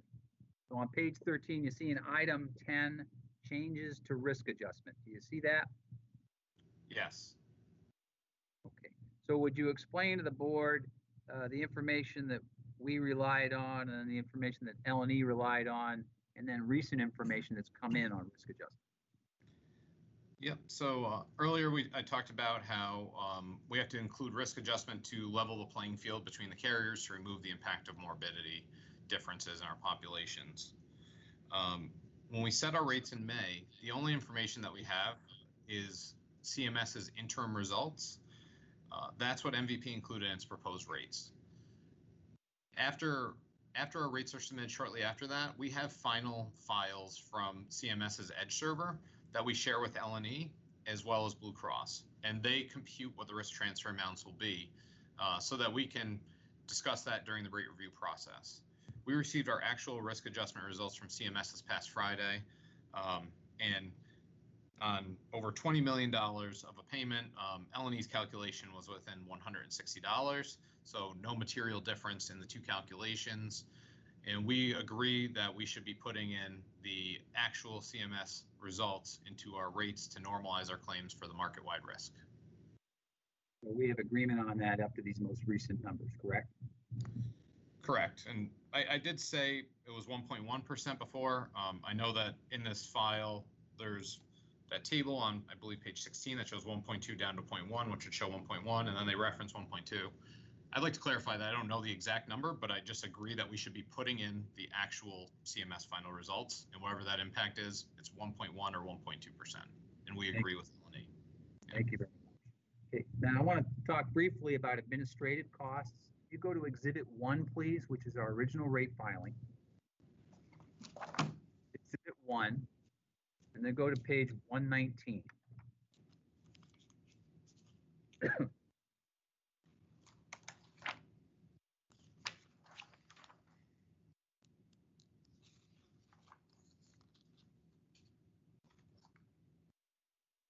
Okay. And do you see the fifth paragraph down says general administrative expense load, including QI component? Do you see that heading? Yes. I'm just waiting to make sure the board is caught up. Okay, and in the first sentence, there's a reference to, uh, there's a number and a reference to PMPM. Can you tell the board what that is? Yep. So um, PMPM represents per member per month. Um, we take total claim dollars divided by our member months that we have available to us to compute a PMPM. So that normalizes out for uh, differences in membership. And we are proposing to charge $43.75 per member per month um, for administrative expenses. 49 cents of that charge is because um, due to the pandemic, we're rolling out credit card payments to small employers. Previously, only individuals could pay via credit card. We had an uptake rate of around 20% for individuals. Um, we're assuming a 10% small employer group uptake rate, which will increase the admin load by 49 cents because we do have to pay 2.8% um, credit card fee. Okay, thank you. So the, the PMPM for this year, our administrative expense load in our original filings, 4375 PMPM, correct? Correct. And let's see what LNE said about that. If you would please go to, back to Exhibit 10 and go to page 14. We're talking about administrative costs, so you'll see heading 13, changes in administrative costs. Let me know when you're there.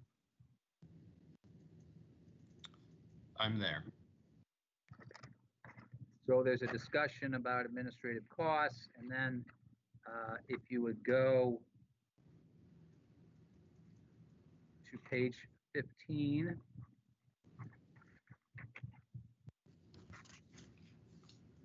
Would you read the first full paragraph, please?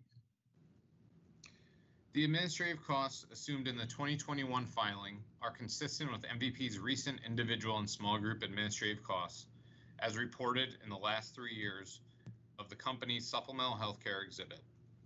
The company's expenses have decreased since 2013 when they were $46.57 PMPM. Okay, so that $46.57 compares to this year, which for twenty twenty-one, which is forty-three seventy-five, correct? Correct. And uh, just generally, what is LNE talking about in the next paragraph? The, the second full paragraph on page fifteen. Um, they're they're referencing our growth in the Vermont market, but our contraction in the New York market, and overall how that's impacting uh, administrative costs because a lot of our costs are fixed and spread out across both states. And would you read the last sentence of that paragraph, please?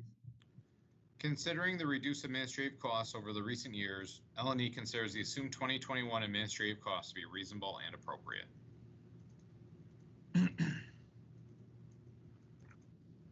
Okay, so Matt, in summary of your opinion, if MVP adopts the recommendations we've identified, the L and E recommendations, and the resulting change from seven point three four goes to six point oh six, is that rate, six point oh six, actuarially sound and reasonable?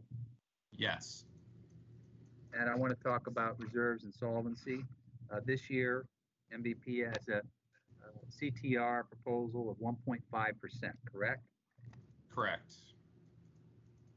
So if you would go to Exhibit 11, I want to see what DFR says about that. Let me know when you're there. Exhibit 11. I'm there. So this Exhibit 11 is DFR's letter to Chair Mullin regarding uh, solvency this year for MVP, correct? Correct. And you've reviewed this and you're familiar with it. Yes. Okay, Would you turn to the second page and read the sentence under summary of opinion? The proposed rate filed by MVP HP would not negatively impact its solvency, and the company otherwise meets Vermont's financial licensing requirements for a foreign ish- insurer. And would you please read the third bullet under, uh, oh, excuse me, do you agree with that, what you just read? Yes. Okay. And would you please read the third bullet under MVP HP solvency?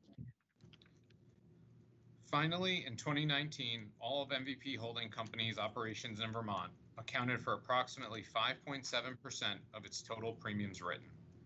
DFR has determined that MVP HP's Vermont operations pose little risk to its solvency. Nonetheless, adequacy of rates and contribution to surplus are necessary for all health insurers to maintain, maintain strength of capital that keeps pace with claim trends. And would you agree with that? Yes. And then would you read the sentence under impact of the filing on solvency. Based on the entity-wide assessment above and contingent upon GMCB actuaries finding that the proposed rate is not inadequate, DFR's opinion is that the proposed rate will not have a negative impact on MVPHP's solvency. Great. So let's, let's see what Ellen E says about CTR. If you go to exit, back to exhibit 10. And go to page 15.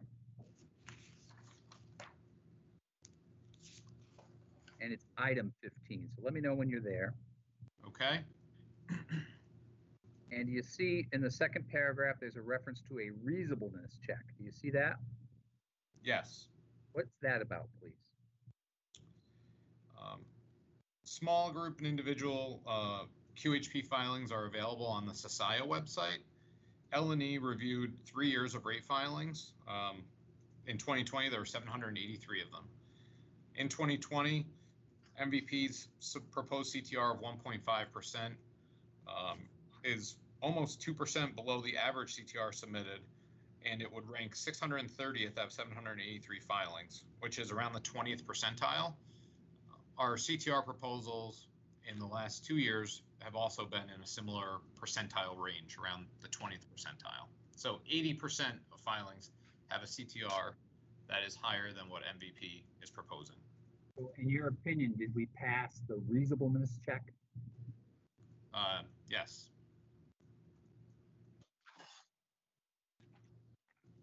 Uh, Would you please read the, in the last paragraph, it's the first sentence.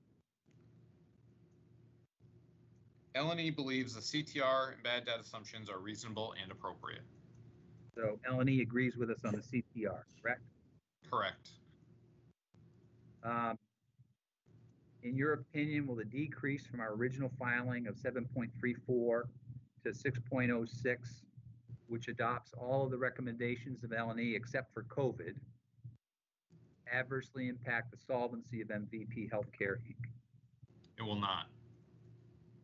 Although our proposed rates uh, are reduced, our CTR remains at 1.5%, correct? Correct. Do you anticipate that contributions to reserves would require a change depending on the hospital budget? So I'm talking about contributions to reserves. Our rate may need to change, but the CTR load of 1.5% would not change.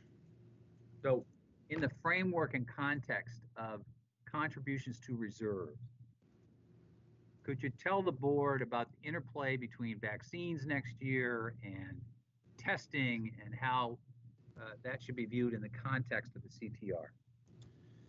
Yeah, CTR, um, it's, there's, one, there's, um, minimum solvency requirements set forth by regulators. And two, the point of, uh, reserves is to be able to provide consumers with peace of mind in case there's adverse claim events. Um, The 1.5%, in, in addition, as claims increase, which leads to premiums increasing, that means that our, uh, our adverse risk, the, the magnitude of it will increase. That's why we need to continue to add to our reserve levels. Costs in healthcare are very right tail skewed, meaning that there's a few people that incur most of the cost. And those right tail events are becoming more and more challenging to predict and could be more and more impactful as there's new breakthroughs in uh, pharmaceuticals and technological breakthroughs. Thank you. Uh, I want to touch on briefly the non-actuarial issues uh, that we uh, need to consider, the board needs to consider at the hearing. If you would please go to your pre-filed testimony, Exhibit 9A.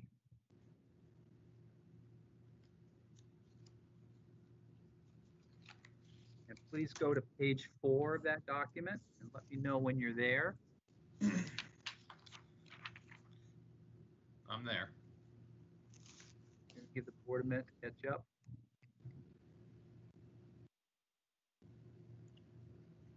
Okay, Matt, do you see that there's a, a Q16? Why don't you read that, please?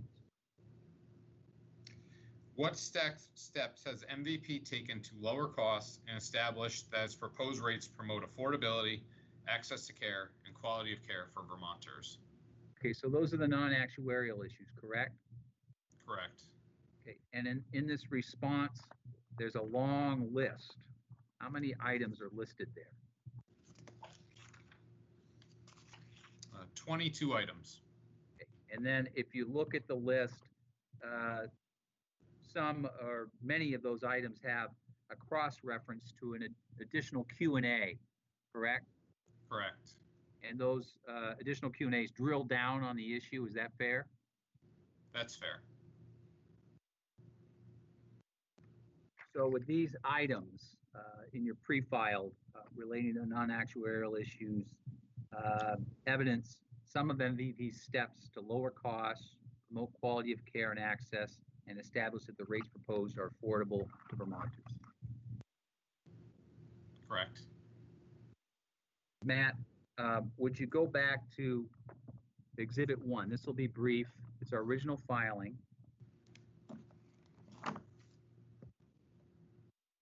And go to page 112 of the exhibit.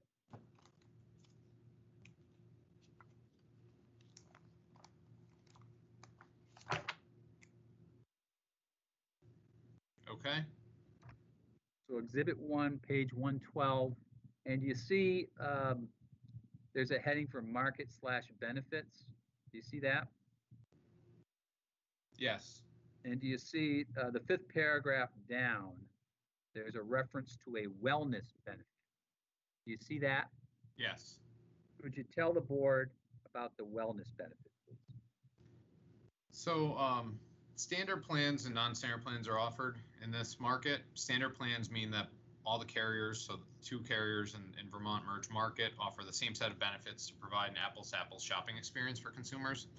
Non-standard plans have to remain metal level compliant, but they provide carriers with the ability to uh, differentiate themselves in some way. And a way that we're differentiating ourselves is through a wellness benefit, which can provide up to $600 of reimbursement for subscribers um, that take personal health assessments, um, live an active lifestyle, uh, things such as that. Matt, on the non-actuarial issues, would you agree that how MVP manages its administrative costs makes its insurance more affordable? Yes, As and will MVP take steps to lower costs, promote quality of care and access, and establish that that the rates proposed are affordable to Vermonters? Yes, Uh, Do you have an opinion on whether short-term, quote, affordable, end quote, underpricing will make insurance affordable in the long run? uh, my opinion is it will not. So Matt, each year we need to walk through the statutory criteria. I'm going to do that with you uh, quickly, and we're just about done, okay? Um, So I want to frame these questions around the 6.06, which is the revised rate, all right? The, the rate that we're proposing now is 6.06. Are you with me? Yes, So Each of these questions relate to the 6.06 rate, okay? okay, Do the MVP rates meet the standard of affordability based on the rate filing, other evidence, and your testimony today? yes, Do the rates promote quality of care and access to health care based on the rate filing, other evidence, and your testimony today? yes, Is this rate filing unjust, unfair, inequitable, misleading, or contrary to law based on the rate filing, other evidence submitted, and your testimony today? it is not. Are the rates reasonable based on the data that we have? Yes, Are the rates actuarially sound and fairly charged premium for services covered? yes, Are the rates excessive, inadequate, or unfairly discriminatory? they are not. Are the rates reasonable relative to the benefits that are offered? Yes, Do they provide for payment of claims, administrative expenses, taxes, and regulatory fees, and have reasonable contingency and or profit margin? yes, So they are adequate. yes, Do the rates exceed the rate needed to provide for payment of claims, administrative expenses, taxes, regulatory fees, and reasonable contingency and or profit margins? they do not. So they're not excessive? That's correct. They're not excessive. Do the rates result in premium differences among insureds within similar risk categories, which are not permissible under applicable law and do not reasonably correspond to differences in expect, in expected costs? Could you re-ask that question and cut out for a second? I'm sorry. Sure. It's also the triple negatives, right? It gets kind of Yep. confused. Do the rates result in premium differences among insureds within similar risk categories, which are not permissible under applicable law and do not reasonably correspond to differences in expected costs? Uh, they're in compliance with the law. So they're not unfairly discriminatory? That's correct. So, Matt, there's one last issue I wanted to touch on. Uh, Attorney Angoff uh, referenced it in his opening, and that is this question around uh, return of premium. So this relates to 2020, uh, not to your rate filing, but I wanted to touch on it and have the board hear MVP's view on any anticipated return of premium in 2020. Okay. So go ahead, tell them your view. Uh, it's too early to tell is, is generally MVP's perspective. As I mentioned a few times, um, we did experience reduced claims for a few months, but in June, our paid level is back to where they were in January and February, pre-COVID levels. Um, there's also concern about the long-term implications of deferring care eh, that could lead members to being in a higher morbidity state. as time plays on, we're going to keep reviewing the situation and monitor uh, both those items, paid volume as well as uh, member health, if we're seeing an escalation in morbidity. Um, until that time, uh, it's too early to assess the situation of how 2020 will play out. And uh, Matt, would you please go to Exhibit G, which is in evidence?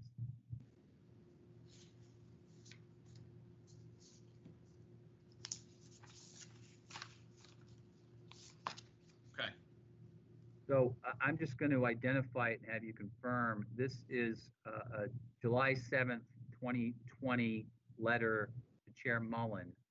Uh, You can see that on page one, correct? Correct. And this, this is, uh, relates to Blue Cross Blue Shield's uh, solvency opinion from the DFR for this year's filing, correct? That's correct. And then uh, on the last page, it's a three-page exhibit. We just show the signature of Commissioner Pieciak, correct? That's correct.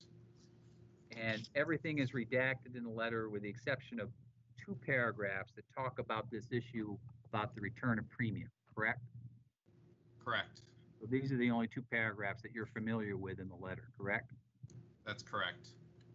So what is, uh, what is uh, the commissioner saying about this issue?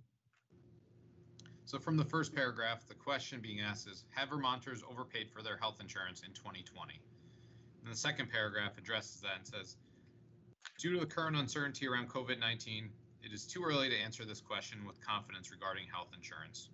Simply put, some effects of COVID-19 are clearly positive in the short term for company solvency, while some of the longer term effects are likely negative. The scope of these effects cannot be known at this time. So generally, does the commissioner of the Department of Financial Regulation agree with us that the premium return decision is too, is premature? Yes. So Matt, just a couple of closing questions. Uh, The big issue, we believe in the rate filing this year is the COVID impact, correct? Correct. And there's some uncertainty about this impact on rates in 2021, correct? Correct. But in your opinion, is MVP reasonably assess that uncertainty based on available data? Yes. In your opinion, uh, you've also relied on the professional opinions of, the actuaries at MVP, like yourself, correct? That's correct. That is what actuaries are required to do, measure uncertainty, correct? Correct. And then would you agree with me that the statutory criteria that we just went through are interrelated? Yes, They're not siloed, are they? they're not.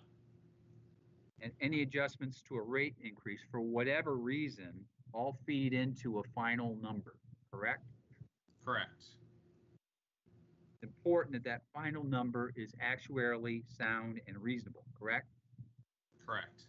And in this case, you believe that number is 6.06%, correct? That's correct. If the board cuts the final number on non-actuarial grounds, is there a risk that the rate could be no longer adequate? Yes.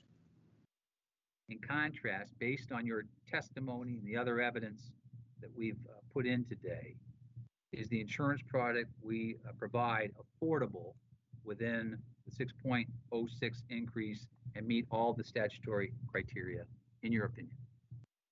Yes. That's all the questions I have for Matt at this time.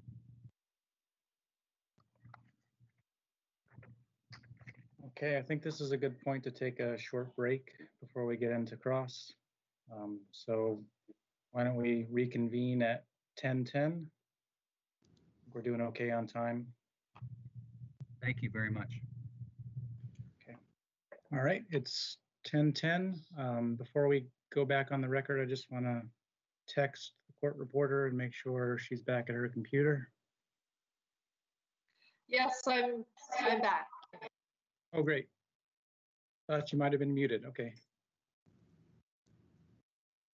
So we are back on record in uh, the matter of docket number GMCB 00620RR in MVPHP's 2021 individual and small group rate filing.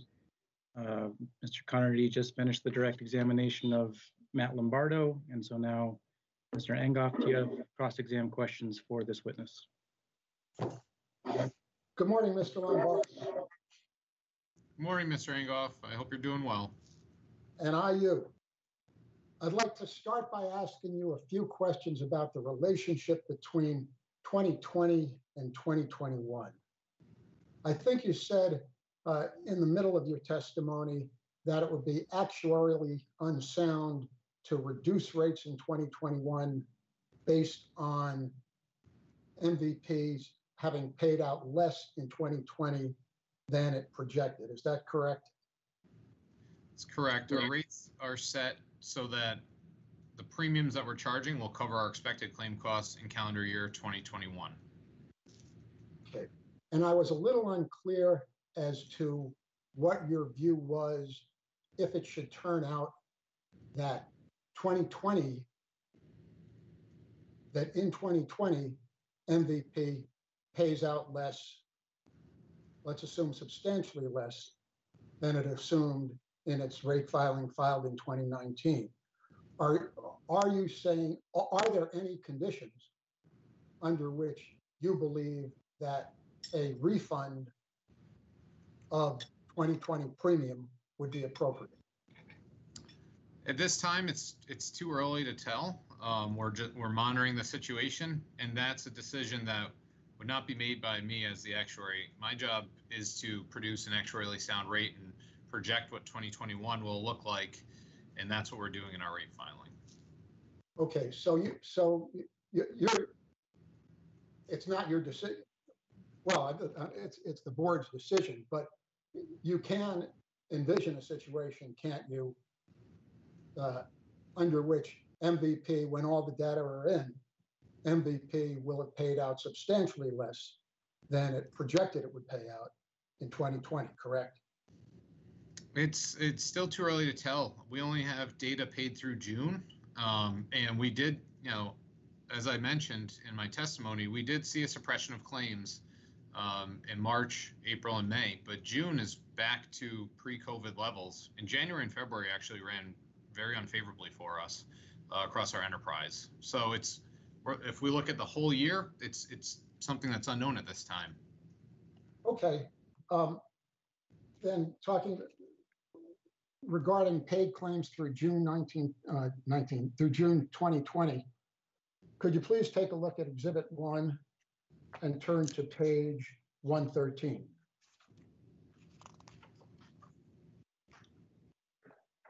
Okay.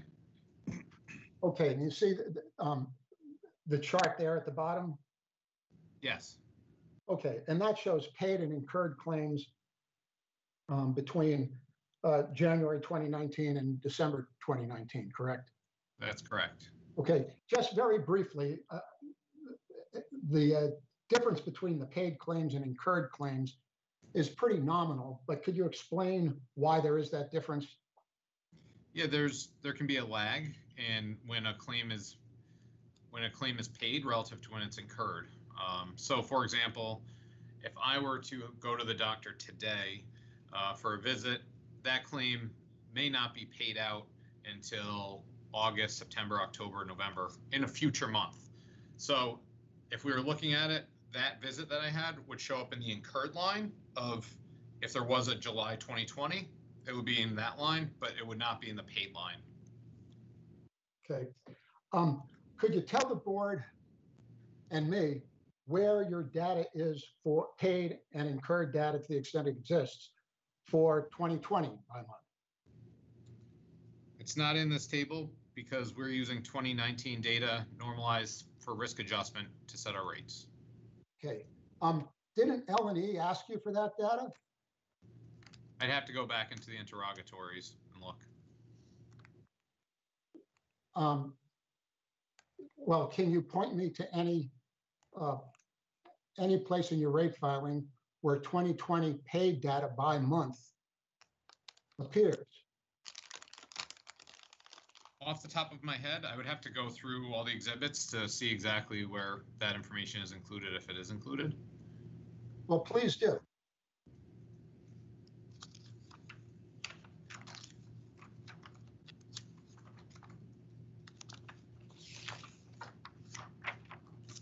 And Mr. Lombardo, so we can shortcut this, if you should come to the conclusion that L and E did not ask you for that data, please say so.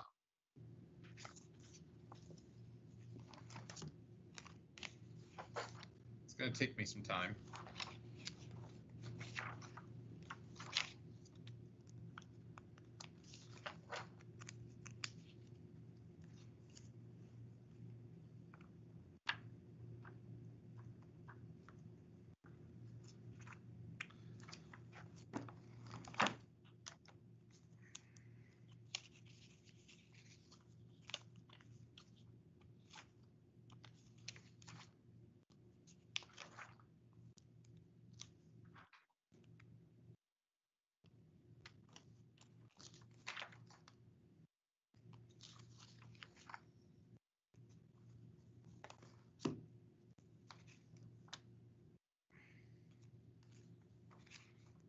I do not see it in the exhibits that I've reviewed. Okay. So uh, you're reasonably certain then that L and E did not ask you for the monthly paid data in 2020, correct?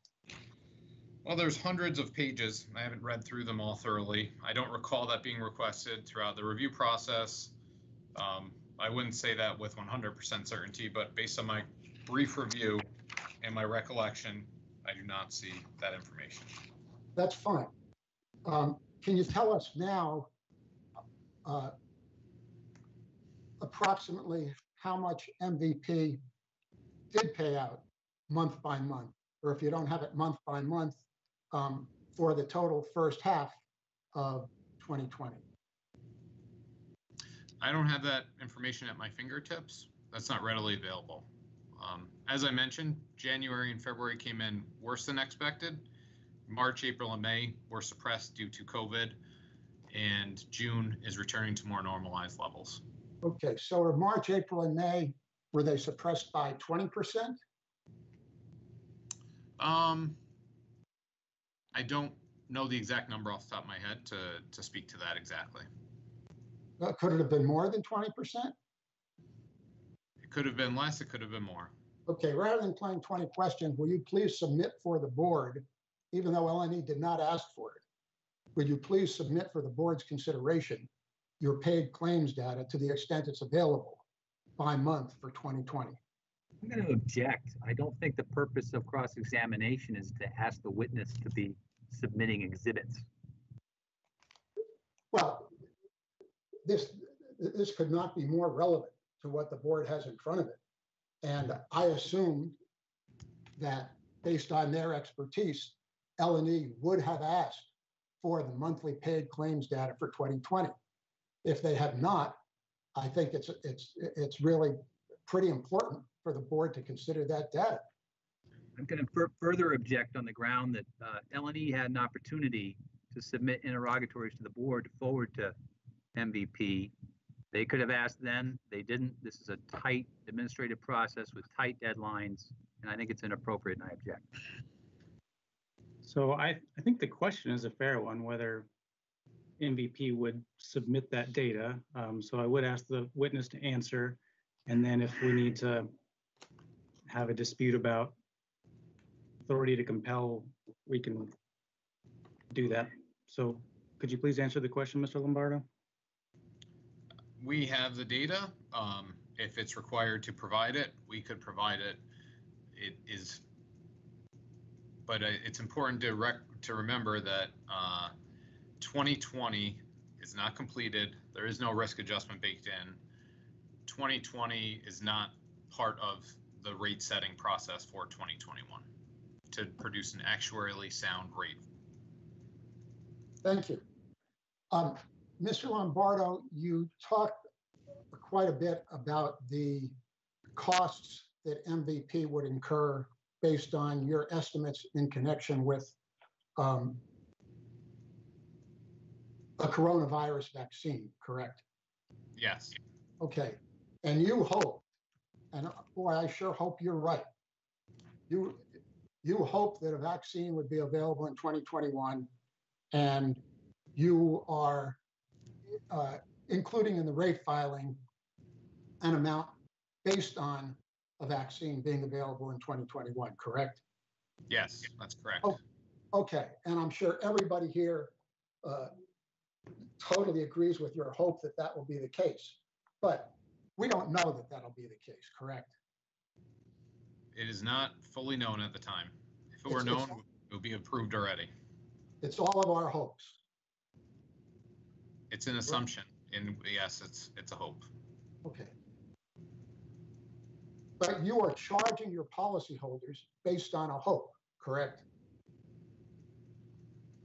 Um, it- uh, it's based on data that's available to us, uh, wh- whether it's federal government funding, FDA, accelerated process of, of expediting the approval, uh, the fact that the science community is almost fully focused on this, it seems. It's based on all of that data. It's not just something that's pulled out of the air. Okay, and not to be a doomsayer, but you've also heard people say, haven't you? And man, I hope they are wrong, that there's not going to be a vaccine for four years, that it's, that it- it's, that, that that would be fast. I mean, you've heard those statements, right? I've I've heard people reference the normal approval timeline of a vaccine is usually somewhere in the multiple year range. Um, but I know this is a different situation. Well, I hope you're right. Uh. You also assume that the cost of this vaccine would be paid by MVP and it would be 75, uh, $75 a shot, right? Yes, Okay, but we don't know, do we, uh, assuming that there is a vaccine, whether or not the government will pay for it? Do we?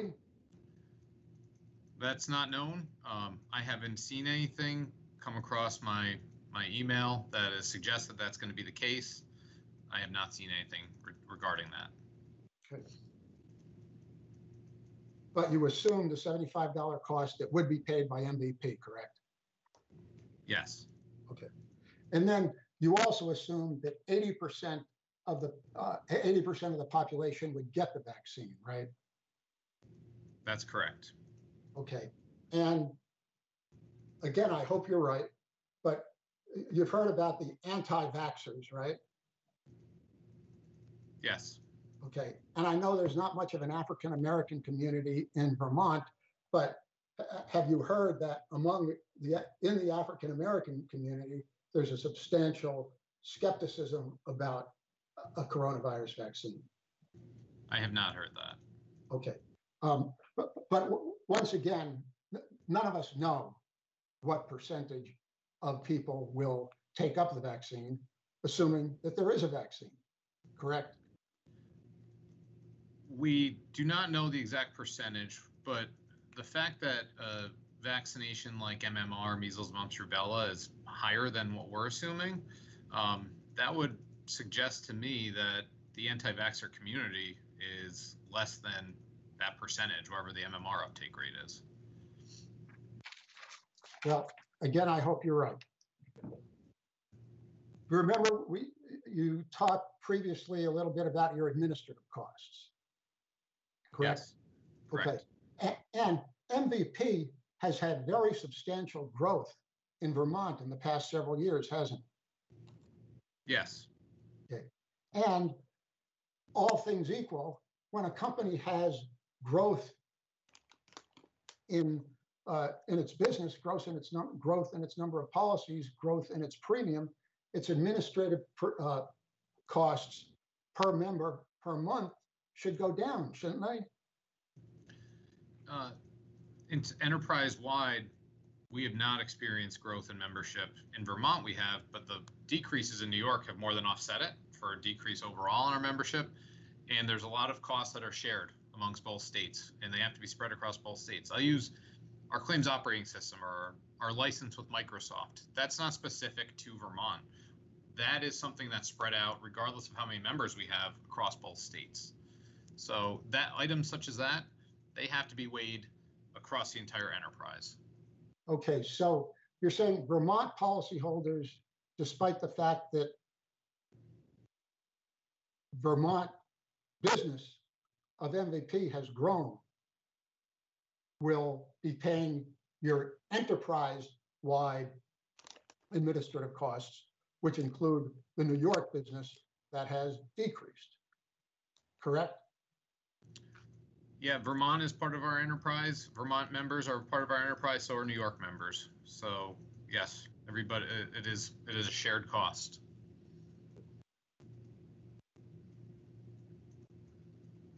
Do you see any practical way of separating out any of those costs so that Vermont policyholders don't pay for your entire enterprise costs?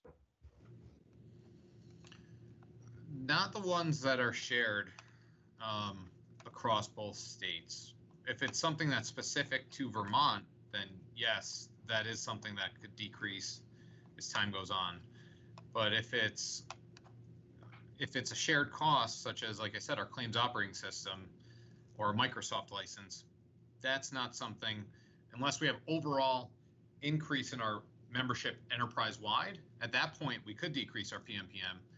And if we can decrease our PMPM, we can offer an even more affordable rate and a more competitive rate and try to gain more market share. It is our goal to work towards efficiencies uh, and, and reduce costs because that flows into our premium rate and our competitive position.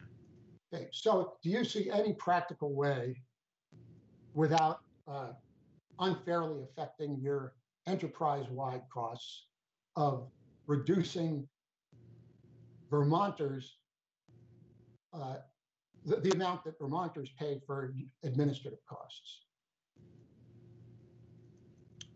Uh, off the top of my head, I mean, it, it's just a matter of how our variable costs and how quickly we can adapt to our variable costs. Um, so off the top of my head, I don't have a specific item that I can speak to. But again, to the extent that we can offer a more competitive administrative fee, then that will help make our rate more affordable and more competitive. Um, what was the uh, trend assumption you used in this current filing? The total trend assumption? I believe it was seven percent. I'd have to refer back, but it, I believe it was seven percent. Okay, and what was your trend assumption last year? What was your trend assumption in the, the, the uh, 2019 filing for 2020 rates? I don't have that in front of me, so I couldn't speak to that. But our trend assumptions reflect the expected change in our costs from uh, the base period of 2019 into 2021. That's based on known increases as well as uh, conversations that we've had with some of our provider partners and assumed increases, which are generally set equal to in the for the Green Mountain Care Board Control Hospital budget items. They're generally set equal to the prior year rate increase, with the exception if if we've had a conversation with a facility or provider group that's indicating otherwise. Okay. And that is something we do have a strong preference that the trends reflected in our rates are well aligned with the approved hospital budgets. So to the extent that information becomes available, that is our preference. Even if, if that results in a decrease of the trend, then we accept that. That would still produce an actuarially sound rate. Our concern is if trend is higher than we're anticipating and an adjustment isn't made, that would produce an actuarially unsound rate. Did LNE ask you what your trend was for 2020? Well, part of our rate filing has, so our 2020 rate filing uses 2018 base experience and has a 2019 trend component and a 2020 trend component. So the 2020 portion of our 2020 rate filing is included in our rate increase in this filing. Okay, um, I may have asked a bad question. Let me, let me uh, ask what I hope is a better question. Did LNE ask you what trend assumption you included in the filing that you made in 2019 for your 2020 rates? They did not specifically ask that, but that is available. And uh, with that said, to produce an actuarially sound rate, what happened in that rate filing isn't relevant unless it's there's a, a, significant disconnect between what actually the trend the actual trend is in 2020 versus what we're building in to our rate. Okay. Well, whether it, whether or not it's relevant is something that the board will decide. But let me just ask you then, can you tell the board right now what your trend assumption was in your 2019 filing for 2020 rates? No. Okay. Um, your, in this filing, you assumed a utilization trend of 1%, correct? That's correct. Okay, and could you turn, please, to Exhibit 10, which is the L and E report, uh, and turn to page eight.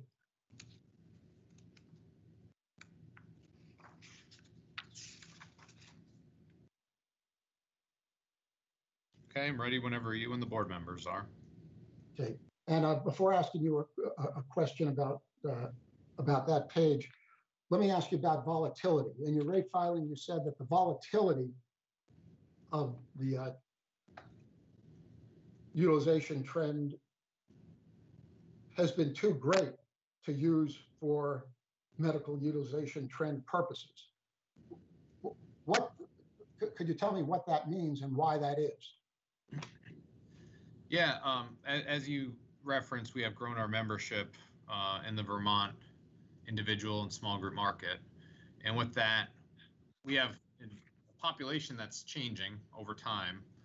And also with that, uh, if we only isolate the one portion of our experience that's been with us for the past two to three years, it's not a it's not representative of what we actually are enrolling, what our population is enrolled in right now.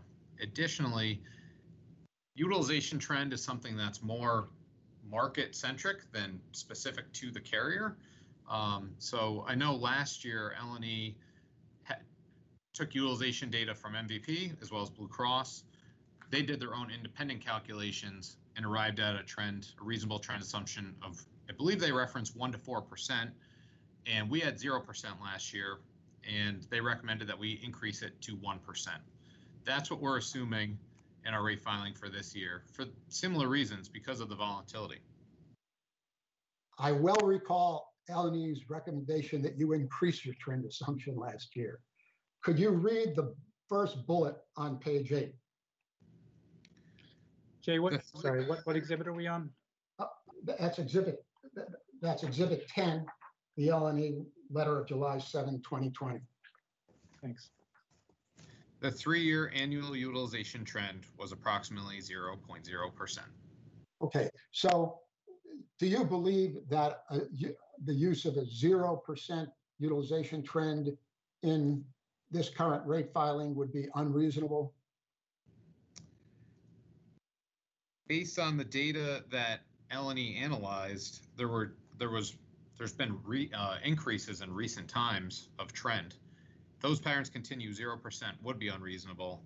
Um, using LNE's four years of data to produce a the last bullet, a regression analysis using all four years of data produce a fitted utilization trend rate of approximately 1.2%. So we're, we're assuming 1%, which is below that figure. Okay, so you, so your position is that a 0% utilization trend would be unreasonable? Based on LNE's analysis using the market-wide data, yes, 0% seems like it would be a little bit short. Um, In your rate filing, what did you assume regarding the number of coronavirus cases that would occur uh, each day in Vermont for the rest of the year? In 2020, Yes, um, uh, I'm sorry, you're referring to a specific assumption in our rate filing? Could you just provide a little bit more clarity, please? sure. Uh, Obviously, you made, you, you made, in, in formulating 2020, 21 rates and in determining uh, how the coronavirus would affect both how much we pay out for the coronavirus related claims and how much you would pay out for non-coronavirus related claims and deferred claims. You had to make some assumption, didn't you, as to how many coronavirus claims there would be in Vermont in 2020. So all I'm asking you is, what did you assume as to the number of coronavirus claims per day that would occur in Vermont in 2020? We didn't make any assumption about coronavirus claims per day in our rate filing. What we're looking at in our rate filing is the impact of canceling services for two months and the impact that could have on pent up demand that would flow into 2021 That is not specifically coronavirus-related claims. Um, But wouldn't you agree that the number of coronavirus claims that occur has a relationship to uh, the amount of non-coronavirus related claims that you would be responsible for? Um, I guess I'm not clear on that question. I'll answer the best I can, but we're assuming in 2021 that there will be a vaccine widely available in early 2021, which would prevent and mitigate the number of actual coronavirus claims that we would incur in 2021. Okay, so, you- so you made no assumption as to the number of coronavirus claims that would occur in 2020 in formulating your rates for 2021. Is that correct? Our rates are assuming that 2021 will be a normal uh, pre-pandemic year. So the 2020, there is no adjustment for coronavirus specific claims that we had to make for that. We're, we're, we're assuming 2021 will be a normal year with a little bit of pent up demand for de- deferred services and vaccination costs. I get you. And that- then, so similarly, you're making no assumptions because in your, in your view, it's unnecessary to make such assumptions regarding the number of coronavirus-related hospitalizations in 2020, correct? That that doesn't have a bearing on our 2021 rates um, based on our data and our view of the world when we set our rates in May. Okay. And did you follow the same, uh, the, the same philosophy in formulating your New York rates? Uh, our New York rates assume the same COVID 19 assumptions, uh, which is pent up demand and vaccination costs. Um, Could I ask you please to uh, turn to Exhibit 4?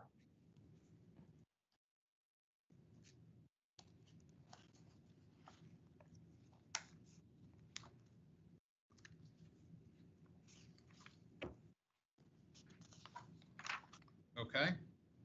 Okay, and Mr. Lombardo, you're, you're familiar, aren't you, with the litigation in which MVP is a plaintiff regarding the uh, uh, uh, the, the risk corridor program? Yes. Okay, and you're familiar, aren't you, with the Supreme Court's decision in the industry's favor regarding the risk corridor program litigation, correct? That's correct. Okay, to what extent, if any, did you include the risk corridor payments uh, that you will receive based on that litigation in the, this current filing? So short answer is we did not assume anything, but I think that is that requires you to understand what the risk corridor program or requires an explanation. The risk corridor program was rolled out in 2014, 2015, 2016 when the ACA rolled out. The risk corridor program's intention was because there was a lot of uncertainty about risk adjusting what the individual market with these new rules would look like, small group would look like with these new rules, and it was a really challenging time to predict costs. So the risk corridor program was intended to help uh, mitigate gains and losses that would be that would occur because of that uncertainty. So the reason why we're due to receive this 1.785 million dollars is because we had costs, therefore financial losses that exceeded our expectations in that time period that the government told us they would reimburse us for and they did not. Okay, So So, it's a, and it's not 100% of the losses recovered, it's just a portion of those losses would be recovered. uh, agreed, but, so am I correct in understanding that the total amount that MVP is to receive based on the risk corridor litigation is 1.7 million? assuming that the Supreme Court decision uh, doesn't face any more barriers and things and, and payments are actually distributed, which is still unclear at this time whether or not that's going to happen, we would receive 1.785 million dollars. Okay, and is, is that for enterprise-wide MVP or just for Vermont? This is Vermont specific. Okay, and you're not including any of that in the rate, in, in this current rate file, correct? That's correct. Okay, and you said it's not clear what's going to happen despite the fact that there's been a Supreme Court decision saying that you all won, correct? That's correct. Okay, well, there's no appeal from the Supreme Court decision, is there? That's my understanding. Okay, and then you say, or your counsel says in this, uh, on uh, page three of this exhibit, could you please read the, uh, the uh, second sentence, beginning on the fourth line in complex litigation, beginning with in complex litigations? Yep. In complex litigation such as this, it typically takes a great deal of time to work through a number of procedural and process issues, and it is likely there will be no resolution of the risk corridor litigation in the foreseeable future, much less when or if payments will be made to health insurers. Much less when or if payments will be made to health insurers. Mr. Lombardo, would you agree with me that, to put it kindly, that statement is a little bit of an overreach? Uh, Object to the extent that he's asking the witness to talk about litigation and legal issues. It's beyond the scope of this witness's expertise. Um, I'll draw the question.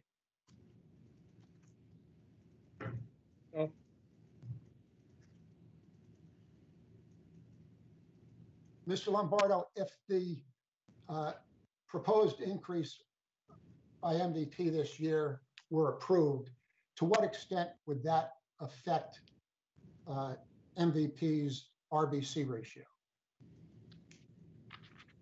So with the adjustment from 7.34% down to 6.06%, uh, our overall enterprise-wide RBC would not be negatively impacted.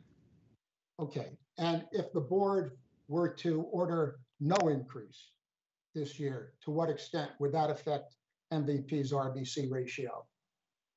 It would have a negative effect on it. Um, it, it certainly would. The the magnitude of it, not I'm not sure of, but we do set our rates to be self-supporting and self-sustaining, so that they can stand on their own.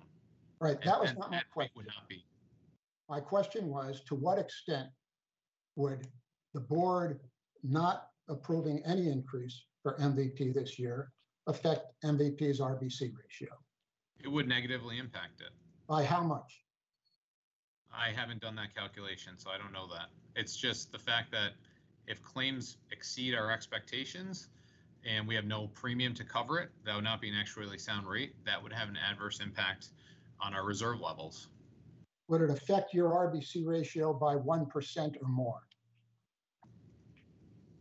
I, I can't speak to that.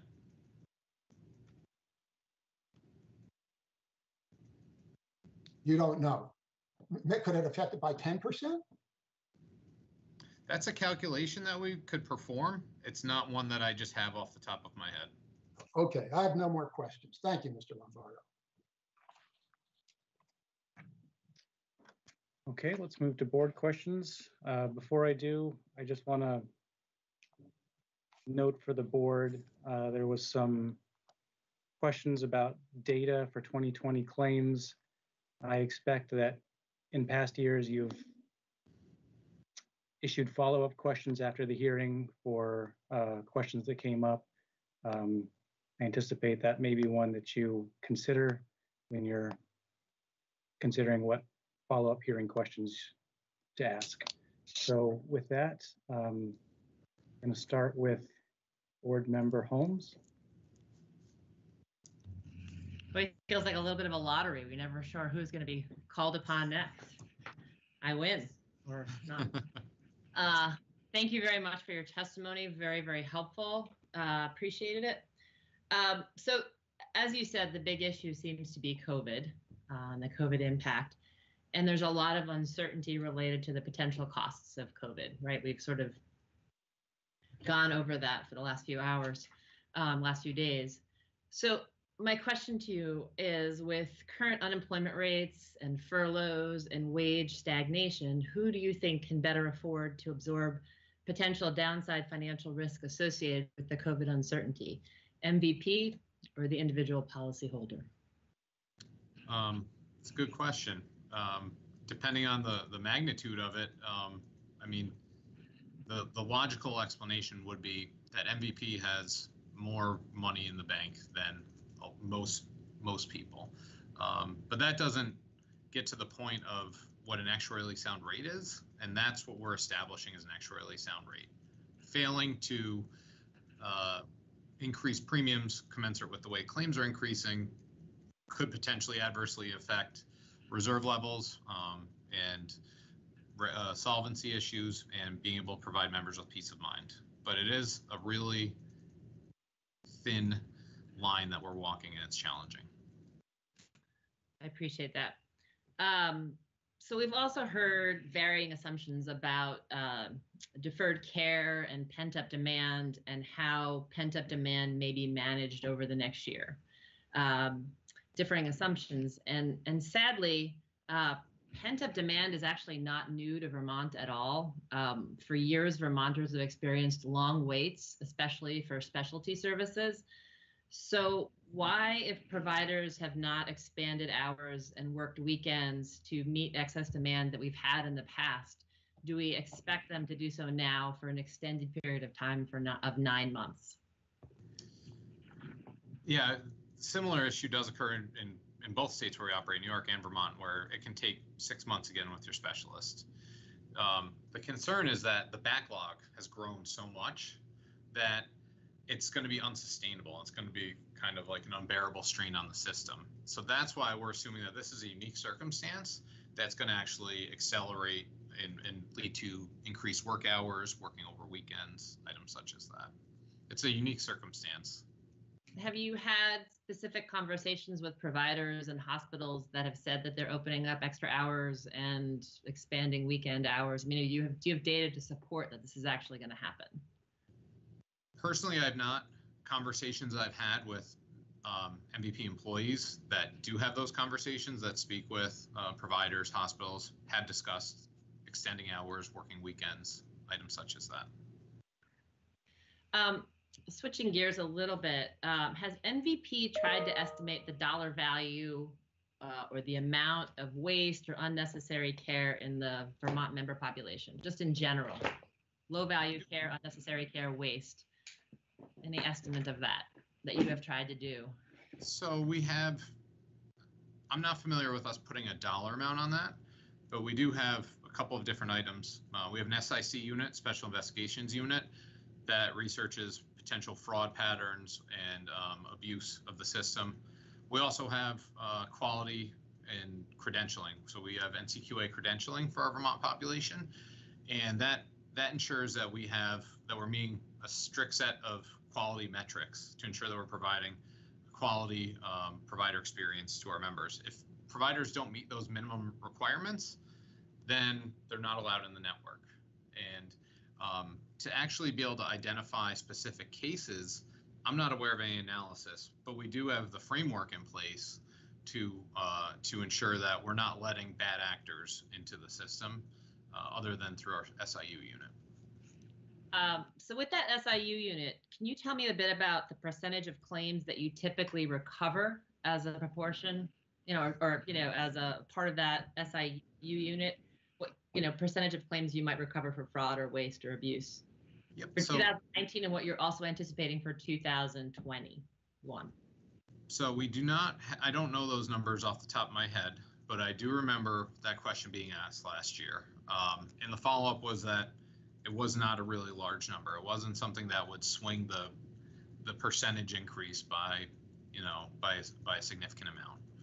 Um, we could follow up with additional information for the current year, but if it's consistent with what we see in prior years, it's a non-zero amount, but it's not an amount that is actually going to swing our uh, our rate increase to be something materially different than what, it already is. So I would really appreciate a historical look back at, at the percentage of claims that you do recover um, with that uh, SIU unit, and then what you're anticipating for this year and how that's baked into your rate would be appreciated. Um, what annual increase in wages and salaries is assumed in the 2021 administrative expenses? That detailed item um, I would have to follow up with our financial planning team. I know that there is a, a small increase, um, but I, I'm not sure what that specific number is. Okay, I'd appreciate that follow-up as well. Um, uh, Another question in the, um, if you could go to Exhibit 6, page 2. Let me make sure I'm on the right page.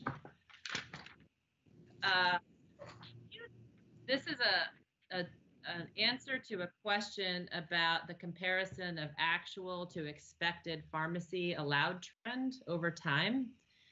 And just in looking at this, the actual uh, materialized trend is significantly less than the expected trend year after year after year by a fairly large margin, um, which suggests that the expected trend rates seem to be you know, overestimated year after year, and those are presumably baked into premium rates.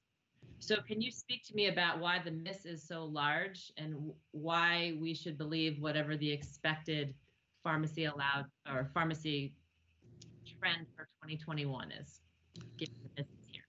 Yeah, so um, it's a great question. The pharmacy trend in and of itself is not telling. So when we produce our trend, when we receive our trend forecast from our PBM, it's assuming a static population where we're not basically whoever we had in the, and I believe we use 20, it's based on 2019 data, it's assuming that there won't be any changes to that population in 2020 or 2021. Um, because we've grown and our, and our risk profile has changed, those trend figures, the actual trends need to be normalized out for risk adjustment changes Unfortunately, risk adjustment doesn't get to just the specific one specific item that you can say this is pharmacy related. Everything's kind of interrelated. But what I can speak to is the fact that our actual trends have come in favorable, yet our risk adjustment payments have increased over time. So what that's telling me is that the morbidity of our population is healthier. So that would lead to a lower trend, but then we're paying back into risk adjustment a larger amount to normalize ourselves back. It's something that you can't really decouple it into one item or um, everything is intertwined, but it has to be looked at with market or morbidity changes um, of our population as well as risk adjustment. And there's no way to quantify the net effect. I, I would say that's not that I'm aware of, and I've thought about it and my team has thought about it, and there's not a specific way that we've figured out to identify that. Um, if you could turn to Exhibit 9, um, an, another set of questions, pages 17 at the bottom, but really the top of 18, um, in which MVP talks about the significant cost savings that have been materializing because of the uh, high use of telemedicine, in particular, the substitution of a telemedicine visit for an urgent care visit or an emergency room uh, visit. Substantial cost savings, um, significant cost savings, to use your words. And I'm just wondering uh, how you've factored that into your uh, cost estimates, medical cost utilization estimates for 2021. Is the you know, assuming that telemedicine is here to stay, how has that factored into your um, trend going forward for 2021? So we've definitely seen an uptick in uh, in telemedicine usage as the COVID pandemic has broken out. Um, it's still not relative to our overall cost of our book of business. It's still a very small amount. Um, and we are assuming that once, as people are learning how to navigate through the pandemic more intelligently, um, we're assuming that 2021 is going to look more like 2019. So, as a result, there isn't any sort of uh, explicit adjustment being made for continued uh, higher utilization of telemedicine. Even with that, I would say that um, the overall cost relative to the total projected claims for telemedicine, even if we did assume an increased utilization, uh, I don't, I wouldn't anticipate an overall material reduction to claims in the aggregate. Even though you talk about here a significant cost savings associated with telemedicine. And the I mean, total dollar amount, Yep. I, I, yep. Um, in a total dollar amount, it could be, it can appear to be something like a, a substantial number on a percentage basis.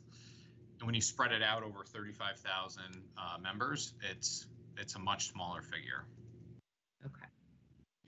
Um, and my, my last question was, did you factor in any additional administrative costs to implement the uh, separate abortion billing that at the time that you submitted this filing, MVP submitted this filing, it was referenced, but has now changed. So I'm wondering, is there a specific administrative cost associated with separate abortion billing?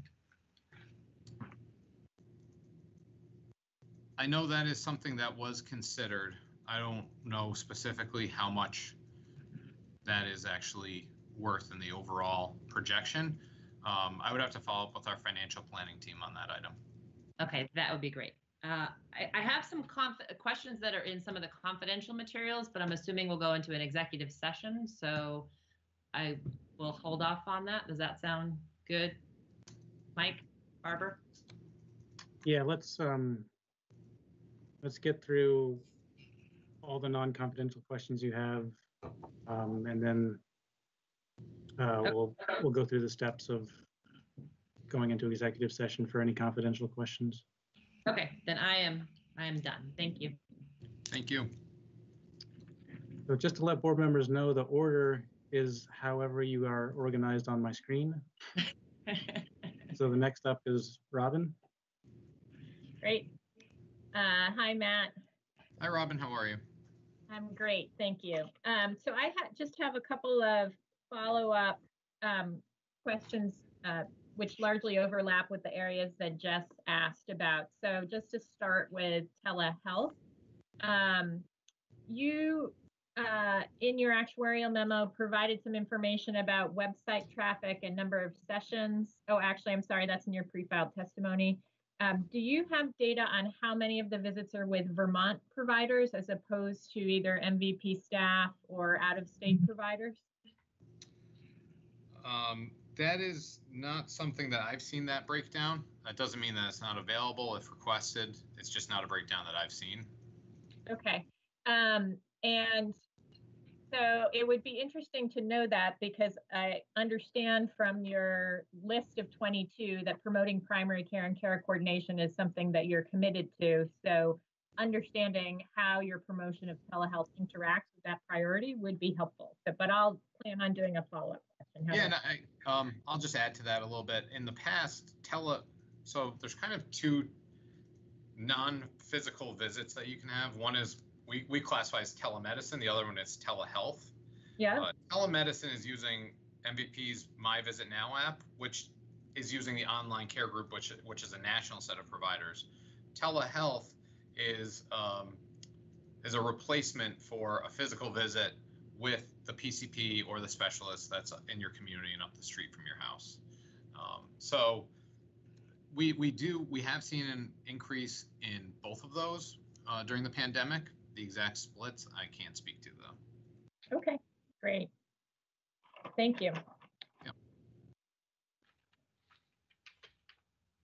And I, um, I, I would, and I can also do this, I think, as a follow-up, given your response to Jess, but it would be interesting to have the dollar figures and the percentage that you referenced in your answer to her question about the magnitude, but we can include that in a follow-up. Okay. Um, do you know how many MVP uh, policyholders have COVID-related claims? Um, I across our enterprise, I do not. I'm specifically interested in Vermont, of course.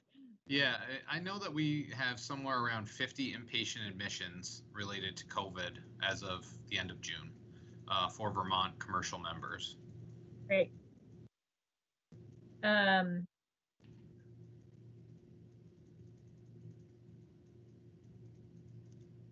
Jess asked a lot of my same questions, so I'm just jumping through them. Um, so then to follow up on your answer related to the source of information about providers working nights and weekends, I know you didn't speak to them personally, but do you have information or data from your medical management team in terms of who they spoke to in Vermont, which providers, how many providers? That's something I would have to speak specifically to um, other people at MVP about. Okay. Um.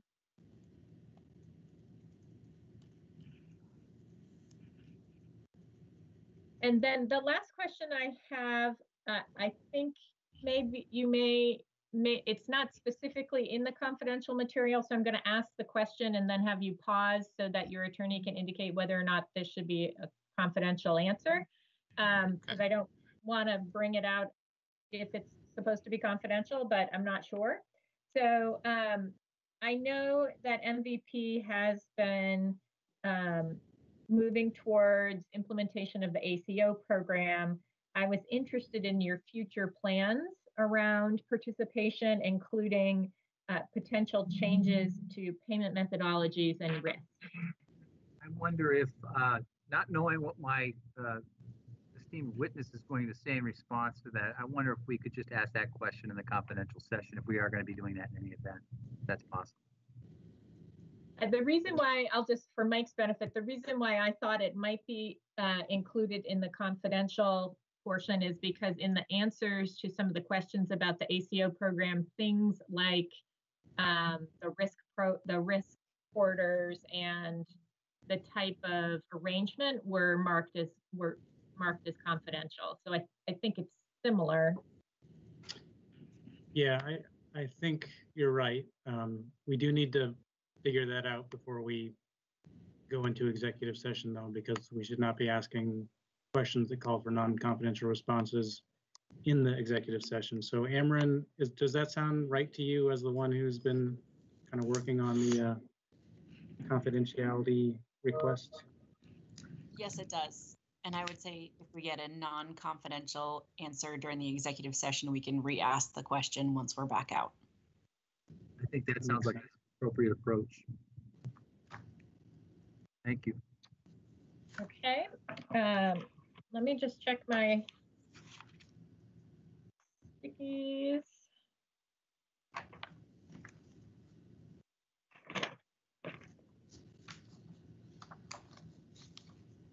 Um, I did have one more question about the medical trend. Um, so Matt, you had indicated in your testimony that you used the um, information you had about the Green Mountain Care Board approved hospital budget rates with some exceptions uh, with information from your contracting uh, department. I believe that one of those exceptions related to the UVM Health Network. Um, I, I Again, believe if- that was something that was in the confidential section, who we Okay, specifically were sorry. having conversations with. That's okay. All right, well, then I will ask uh, about that specific negotiation, the confidential section. So that's my last question. Thank you. Okay, Maureen? Uh, Great, thanks. Hi, Matt. Hi, how are Um, I do have a few, I think that also would go into confidential, but um, the ones that aren't, uh, can you give an idea of what percent of admin costs are fixed? Um, I believe that's something that L and E had asked us to provide in their memo data set, and it is around fifty percent. Fifty percent. Okay, that's what I would, that's, that seems like a a fair number. Um, Can you tell me what does one percent hospital for the Vermont hospitals, what does one percent hospital rate increase translate to, to a total rate increase? Um, I would have to pull up our exact utilization. We do have that. Um, it's not, it's going to be something that's less than 1%, obviously, Yeah. for each year. Um, Right. To simplify it, approximately 80% of our claims uh, are processed through um, our medical claims, 20% are pharmacy, give or take 5%. And um, then there's a subset of them that are subject to the Vermont hospital budget. So it would be something, one year is something less than 1%, a 1% impact on trend um, on hosp- on the hospital budgets for one year would be something that's less than 0.8% is my approximation. Um, probably 0.5 to 0.7, but that's that's an estimate. That's a calculation. Maybe, 0.3 to 0.5 because we also have to remember that only half the half of your volume comes from Vermont hospitals, I think, right? So whatever we take for, I'm saying for Vermont hospitals, if Yep. there's a 1% increase. Um, but maybe you can get back to us on the number. Yep. You know what I mean? I'm saying, I think you have about half is outside of Vermont, or maybe a little less than that, half is inside Vermont. Yeah, my, my mind was going to UVM physicians because I know they're subject to it and that they do take Right. up a lot of the physician costs. So, um, but that's a calculation we could do and, you know, it doesn't seem unreasonable around a half percent. Right. A little under. A little lower, I think, but we'll get the number, yeah. Um, and then just, I guess, and, and maybe this was a follow-up that we're gonna get, but on the, the June pre-COVID, um, we know it's not, you said it's back to almost COVID, pre-COVID levels, but is it 80 to 90%? Is it, we're not seeing Vermont hospitals back near 100%. So, you know, we're, we're, they're coming back for sure, but I haven't heard of any in June that were at 100%. Um, there were many at 70, 80%. So just trying to get a read on what percent, you know, increase, and that maybe have, have been a follow-up from, um, from Jay's questionings earlier, but just want to make sure we get that number. Okay. Something we can provide. Um, and then on the schedule uh, that we had looked at before under A18. Um, and we talked a little bit about this, I think, last year too, where Maureen? members can compare Sorry, which prices before, pardon? Which which exhibit are- are we on? Which exhibit are we referencing? I apologize. Oh, sorry, um, A, page 18. The one that also had the telemedicine that we were talking about. The exhibit number eight? No, A. A Exhibit is A. in Alfred. I guess it's eight A, sorry. Thank you very You're much. right. I wasn't good. Eight, A, page eighteen. I don't have an eight A, I have eight as Matt Question is Lombardo. really just, that you have a, if- what? The, the, um, consumers have the ability to check prices before they go to providers. And I think we talked a little bit about that here. And as we know, we're saying, you know, everyone's pocketbooks are stretched. Uh, A, I guess, how can we encourage consumers to do that more to the extent it's still convenient for them to find a provider in their area who may be a lower price? Because often that impacts their, what they pay for deductibles and out of pockets. But then it should also carry forward to what MVP is paying. So, you know, what are, what types of savings are you seeing there and how can we push that? How can that, you guys push that harder? So it should help everybody. Yeah, so there's a few items to uh, unpack in there. Um, first is there isn't a way that it's a separate system, the online cost tool calculator from our claim system. So tying those items back to, to one another is um, it's not something that is it would take a huge manual effort to identify that, but we are promoting uh, alternative ways of of accessing care, whether it's through our Try Telemedicine First uh, website or it's just through pro- uh, member communications. Because I agree, as members make more intelligent decisions in terms of cost, that will reduce costs um, overall, which will pass on into premium rates in future years. To specifically identify how much that's that's been impacted, we don't have the ability to do that based on the way our systems are set up. And can you talk about um, any other major cost saving initiatives that that are in the works and when we would expect to see the benefits of those? So from an administrative perspective, we're taking on a, a lean initiative to identify areas where um, we can replace um, manual intervention with a, a computer robotics uh, behind the scenes.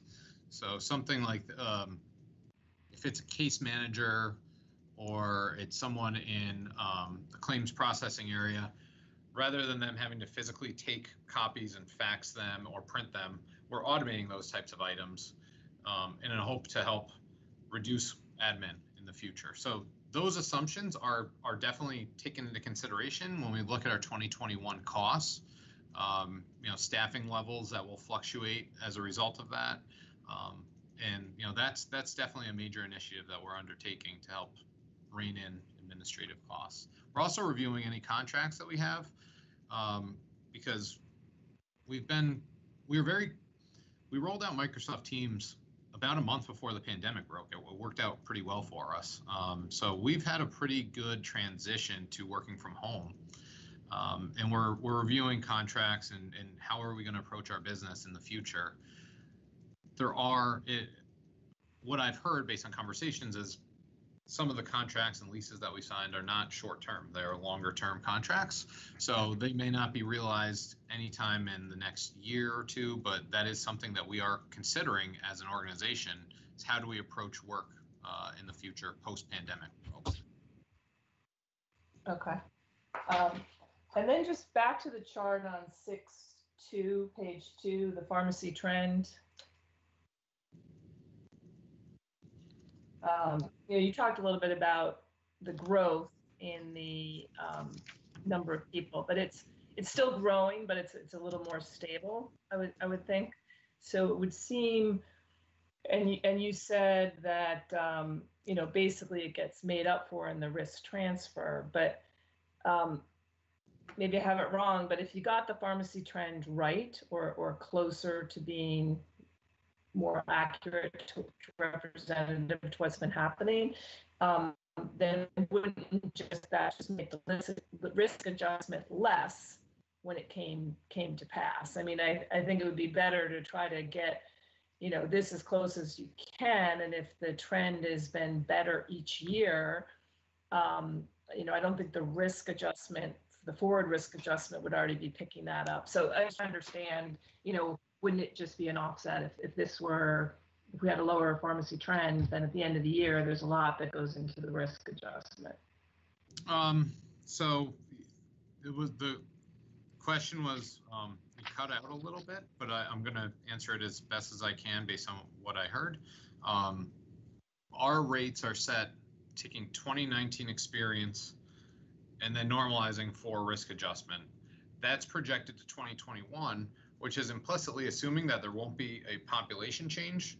Um, but because of risk adjustment, we are agnostic to population changes. So if we do enroll a healthier population in 2021, um, then our claims will come down. But in theory, when we receive 2021 risk adjustment, it will be a higher payment to normalize us back up to that level. So I hope that answers your question. Um, and if you ask anything differently, that I didn't hear, then uh, please let me know. Uh, I guess it's just if we know, if we believe that that the trending for pharmacy has been better each year, wouldn't that come in? Wouldn't that change some of the assumptions that you have, um, just as you do for utilization trends and uh, you know on the medical side? If we were to reduce our trend um, expecting a healthier population, we would have to make a corresponding increase to our risk adjustment payment, which would basically put us back at the same point. So the fact is that we're assuming a static population that's normalized for risk adjustment, um, and that that makes it. If we were to assume population changes, we'd have to also make a corresponding risk adjustment change. Okay. Um, and then I understand, you know, that this is for 2021, that electives may come come back from 2020 into 2021, and that that's the filing that we're looking at. But um, can you just, I guess, give me a yes or no yes or no answer to that? You know, any benefits that incurred in 2020 for Vermonters that didn't happen um, would have impacted the surplus for 2020 will will impact the surplus. So if we end up being favorable at the end of the day, which I know you said is too early to call right now, but uh, that will impact the surplus. Is that correct? If claims come in favorable, then that does fall to the bottom line in the short term. Okay. Um, okay, that's all I have. Thanks. Thank you. Tom, do you have questions for Matt? I do, just a few. Um, so my first one uh, is just a very top side question. Oh, by the way, good morning. Good morning. Uh, um, is uh, it's a very top side question, and uh, if you turn to page three of the first exhibit.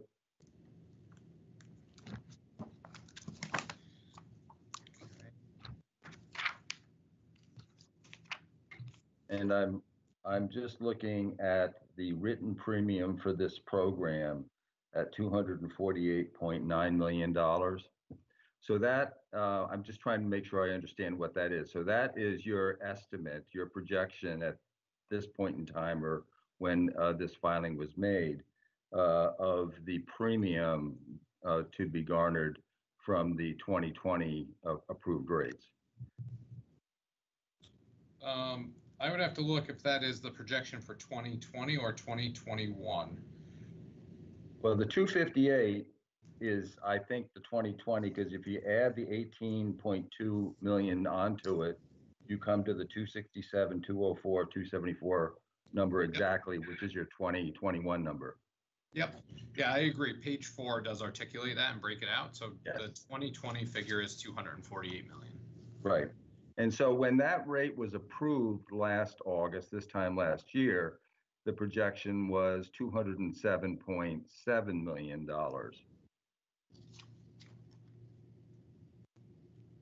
And that number, that number, there's also, I can give you an exhibit where that number can be found, but I'm not sure if it's confidential or not, but that this is off, you know, what our website.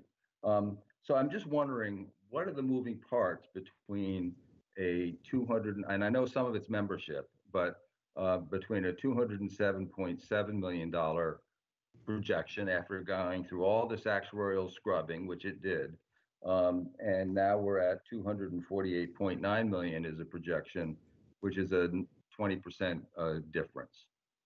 Yeah, that that is it's driven by membership changes. Um, so our projected incurred claims at the time is our membership snapshot times our target loss ratio because we don't have a revised estimate when we're submitting our rates. Our membership uh, increased by approximately 20%, which is why the premium is also increasing by 20%. If it's not exact, it could be because benefits changed a little bit. Um, you know, maybe we saw a shift in our membership from uh, distribution of gold versus um, silver versus bronze, things like that. But in general, it's just reflecting our target loss ratio times our projected premium as of February 2020. And, and, and in these uh, actuarial projections, I mean, there are estimates about what the ridership will be. So it get, all gets translated to a per member per month basis. But you think it's most of that difference is explained by the actual membership that showed up. Yeah, and um, you, you reference a 20% gain in or a 20% increase in premium and or incurred claims. That's uh, I have 20% in my mind for the membership increase approximately, yep. so that, that hangs together for me. And just a quick question. Um, when you're, when, you know, at, at this point in time, we're looking at a 6.06% uh, increase. Um, that still is, is kind of out of uh, alignment with the all-payer model uh, hope of a 3.5% total cost of care um, by 2022. And do you have any insight or any thoughts about that? And um, or is your actuarial analysis, as it should be, um, just completely independent of the fact that the state of Vermont has signed an agreement with the federal government, you know, for the all-payer model? Yeah, it's our rate is set based on our projection of incurred claims um, from 2019 to 2021. Our best estimate of what will actually happen in 2020 in 2021 is what's captured in our rates. Um, the three and a half percent figure that would be great if we can achieve that. Um, and you know, if we if we arrive at that, then that's that's fantastic because that will make premiums more affordable, more competitive. Um, but our rate is set so that's actuarially sound, and our best estimate of that is 6.06 percent. Okay. So my next question is a quick one on um, just the, what I call the premium cliff. Um, and I just want to give a, an example. The, the data is on Exhibit 1, page 110. You don't have to go there if you don't want to. And the other is the uh, federal poverty guidelines in Exhibit 21. So I'm looking at a, um, uh, you know, at, at your chart on uh, page, Exhibit 1, page 110, that uh, talks about the uh, 2021 exchange rates.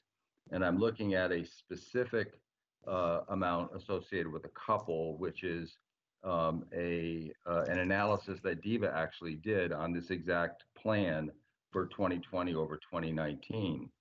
Um, and so, uh, so the rate for a couple there is $1,020 and 56 cents um, a month for an uh, annual amount of $12,246. Um, and the afford at 400% of poverty, the income uh, is 68,960, which means that that rate is a 17.8% uh, uh, percentage, 18.17.8% percentage of the couple's income. And at 69,8,000, that could be a couple, one making 30, one making 40. You know, maybe they're younger than I am, but in, their late 40s or 50s, they might have a kid in college trying to save for retirement. So I'm trying to, you know, put some feeling to it. Um, do you think that that 17.8% rate is affordable? That rate is, the rate is set to be affordable in the sense that it is an actually sound rate where we're doing everything we can to manage costs to be um, to be as low as possible, and that's what we're doing. And um, I recognize how large those claims can seem, or how high that premium can seem, but it, it goes back to I commented earlier about how skewed towards the right tail costs costs are, and I, I recognize that most people pay a significant amount of premium and don't incur a comparable amount of claims.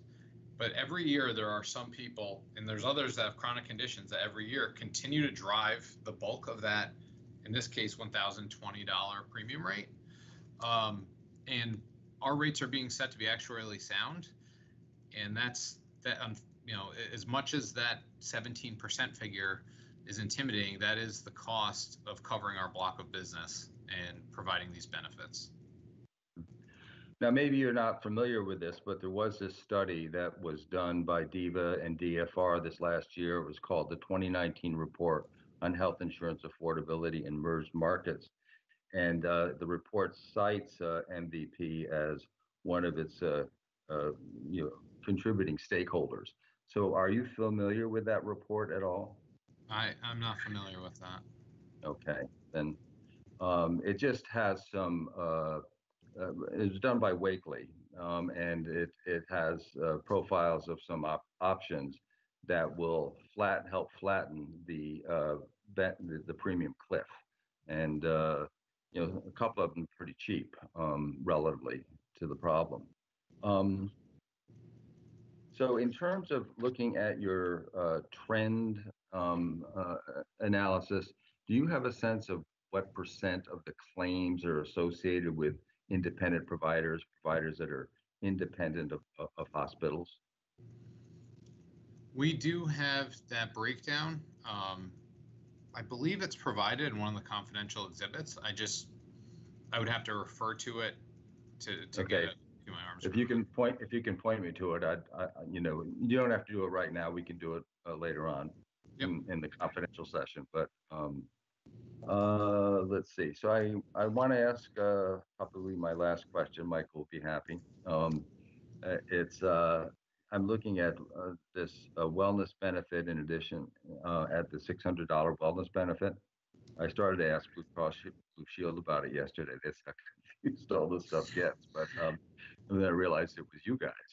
Um, so I wasn't clear where it talks about um, 88 cents per member per month, whether that applied to all 400 and, um, 443,766 member months, or was that just applied to the people who um, uh, enrolled in the rider?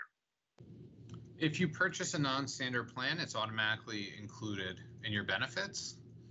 And that 88 cent load is a plan specific adjustment. So if you purchase a standard plan, that load is not included in your rates. If you purchase a non-standard plan, it is included in the rates. Okay, thank you. Um,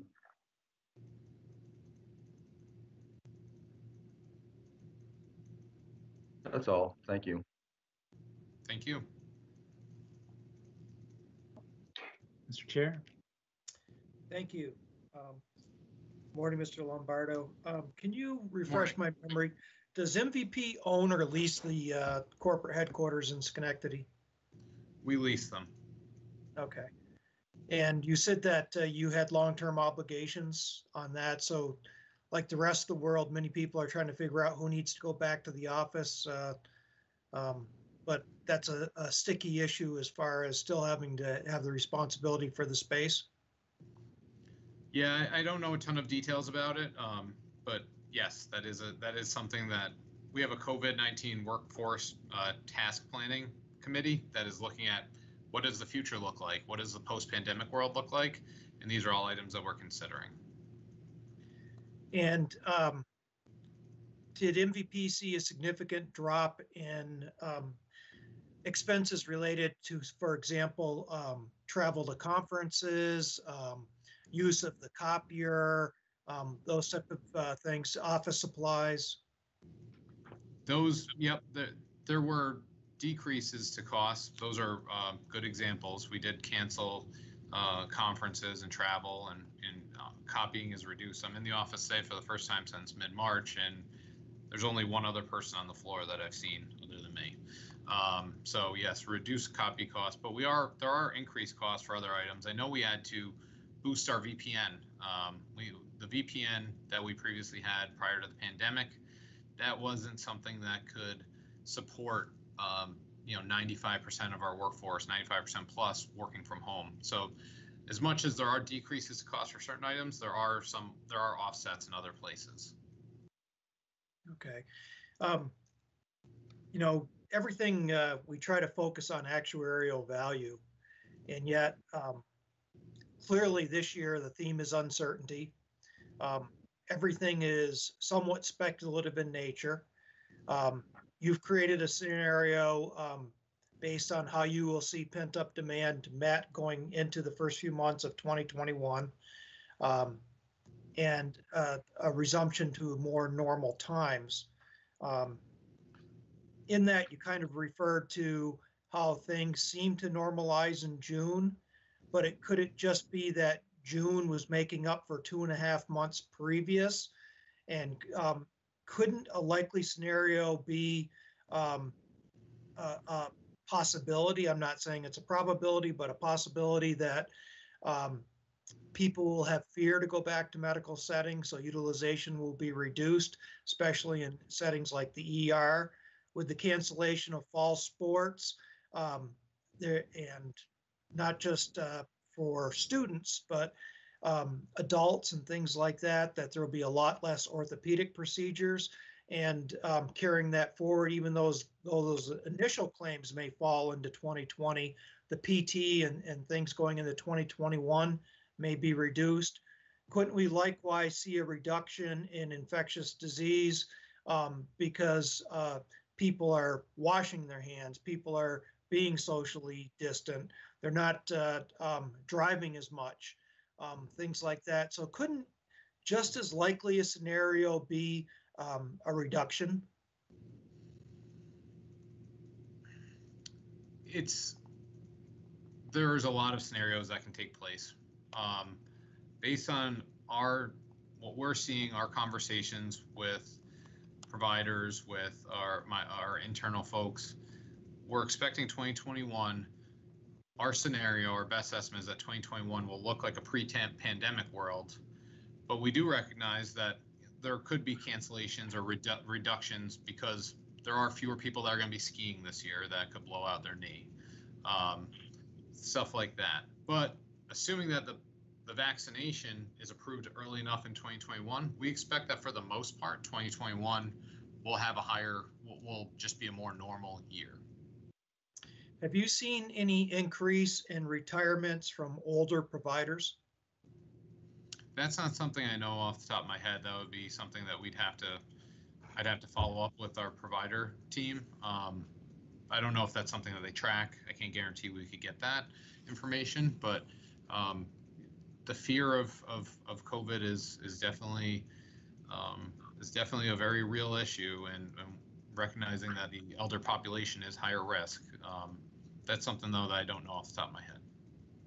So we get to see, this is, this has no relationship to the hearing today, but we get to see um, Vermont numbers, we get to see North Country numbers, we get to see state of New York numbers. I'm just curious how you in the Capital District are doing. Are, do you feel safe walking the streets down there or?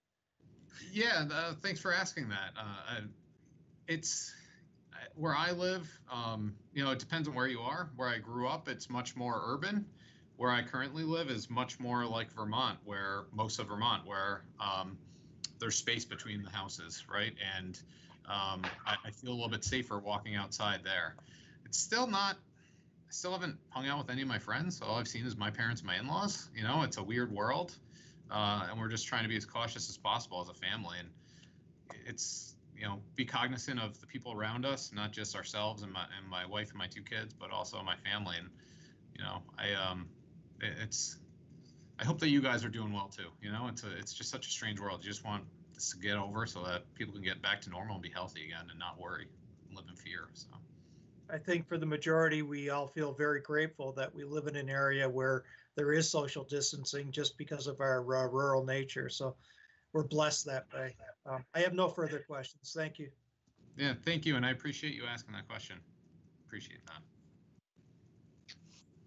So, before we go through the mechanics of uh, an executive session, Mr. Karnedy, do you have any redirect for Matt on the non-confidential questions and answers?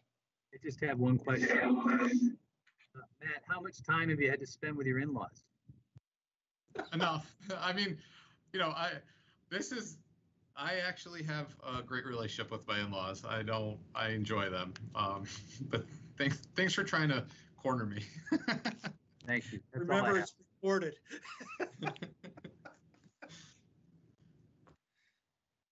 Transcribed even. Um, so, so I, we did this yesterday. Um, so I think you're familiar with the Open Meetings Act. Um, and the two bases that, that you guys uh, voted to go into executive session on yesterday were the confidential documents exception or provision, sorry, um, and contract negotiations. I've heard some of you have questions about confidential materials. Uh, so that, so it sounds like that's a basis that you might want to go into executive session for. I don't know that you also have questions generally about contract negotiations. Just got a week. I think my question that I asked related to some of the unit cost assumptions could veer into contract negotiations? Okay, that's helpful because to go into executive session on that basis, uh, we need a finding that um, premature public knowledge would place um, a person at a substantial disadvantage, in this case, I MVP. Um, so do you feel comfortable uh, finding that, or do you need testimony um, to establish that fact? I think just generally, you, based on common sense and your kind of experience, I think you might be able to find that, but um, that's really a question for the maker of the motion and the board. So uh, since I'm assuming I will be the maker of the motion, um, uh, why don't I just ask Matt one question related to that, which is um, uh, earlier on, Matt, I started to ask you a question related to contract negotiations with the UVM Health, Health Network. Could you briefly describe how it might put your company um, at a disadvantage if we were to ask you about those contract negotiations in a public setting? And I would just uh, back caution you, to the extent that this does get into confidential information, please, please answer the question at a high level without, without identifying any confidential information. Sure. Um, uh, it's, our contracts are, our contracts and our discount rates are, um, it's kind of like in a poker game.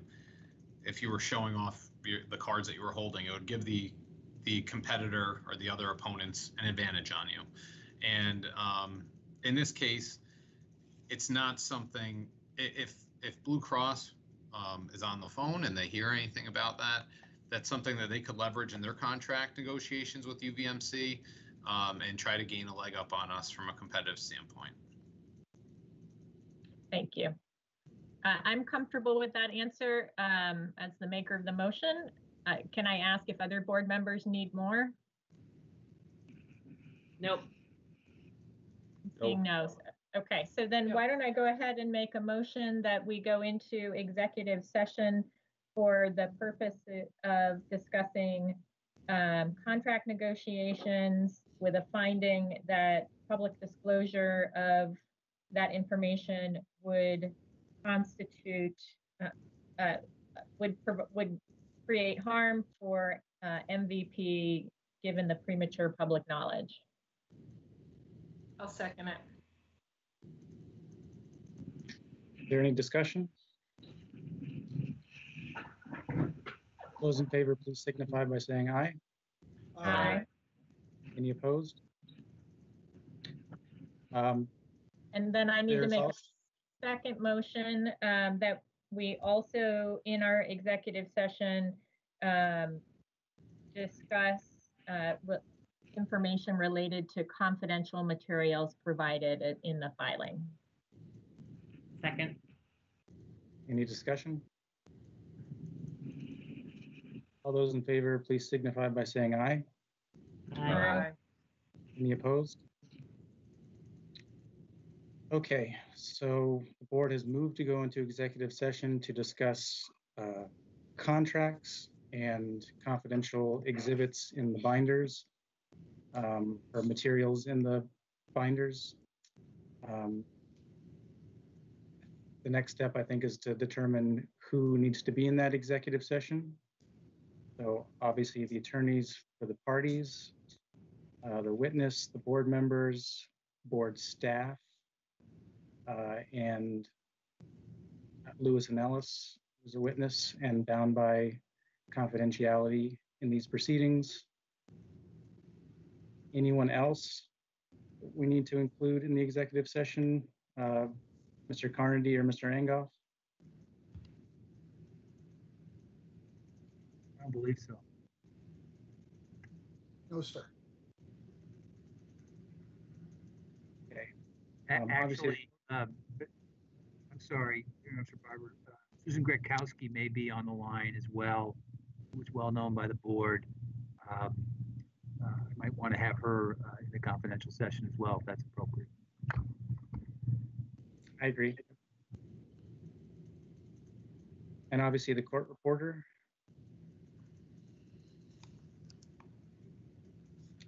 So, um, I don't think there's anything, I mean, just obviously, as we discussed yesterday, I'll caution uh, everyone that really the questioning has to stick to the confidential materials. If there's anything that comes up that's not confidential, we can go back into the open session and discuss that. So with that, um, if everyone could, uh,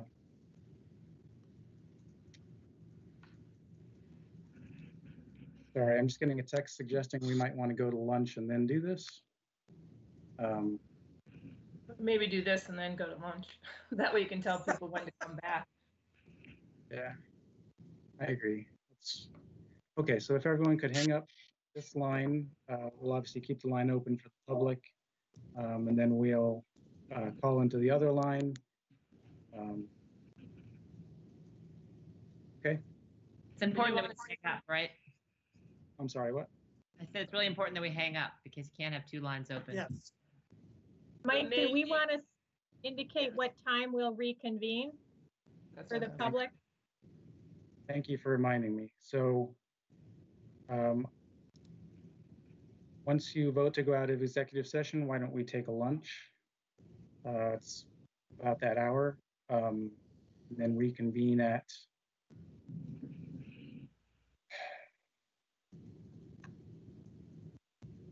guessing the executive session will last maybe till 12:30, so 1:30? Is That, I think we're doing okay on time.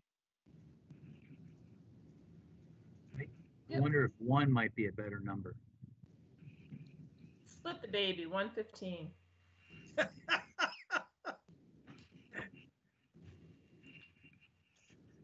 Whatever. Whenever I don't care. Yeah, I don't care. Yeah, let's say We'd have a 1:15. public hearing At four thirty, I think uh, the one fifteen is, um, gives us that extra fifteen minutes. Right. Okay, let's do that. So let's hang up, go into the executive session, take a lunch, come back at 1:15. Okay. Thank you. Thank See you. In a minute.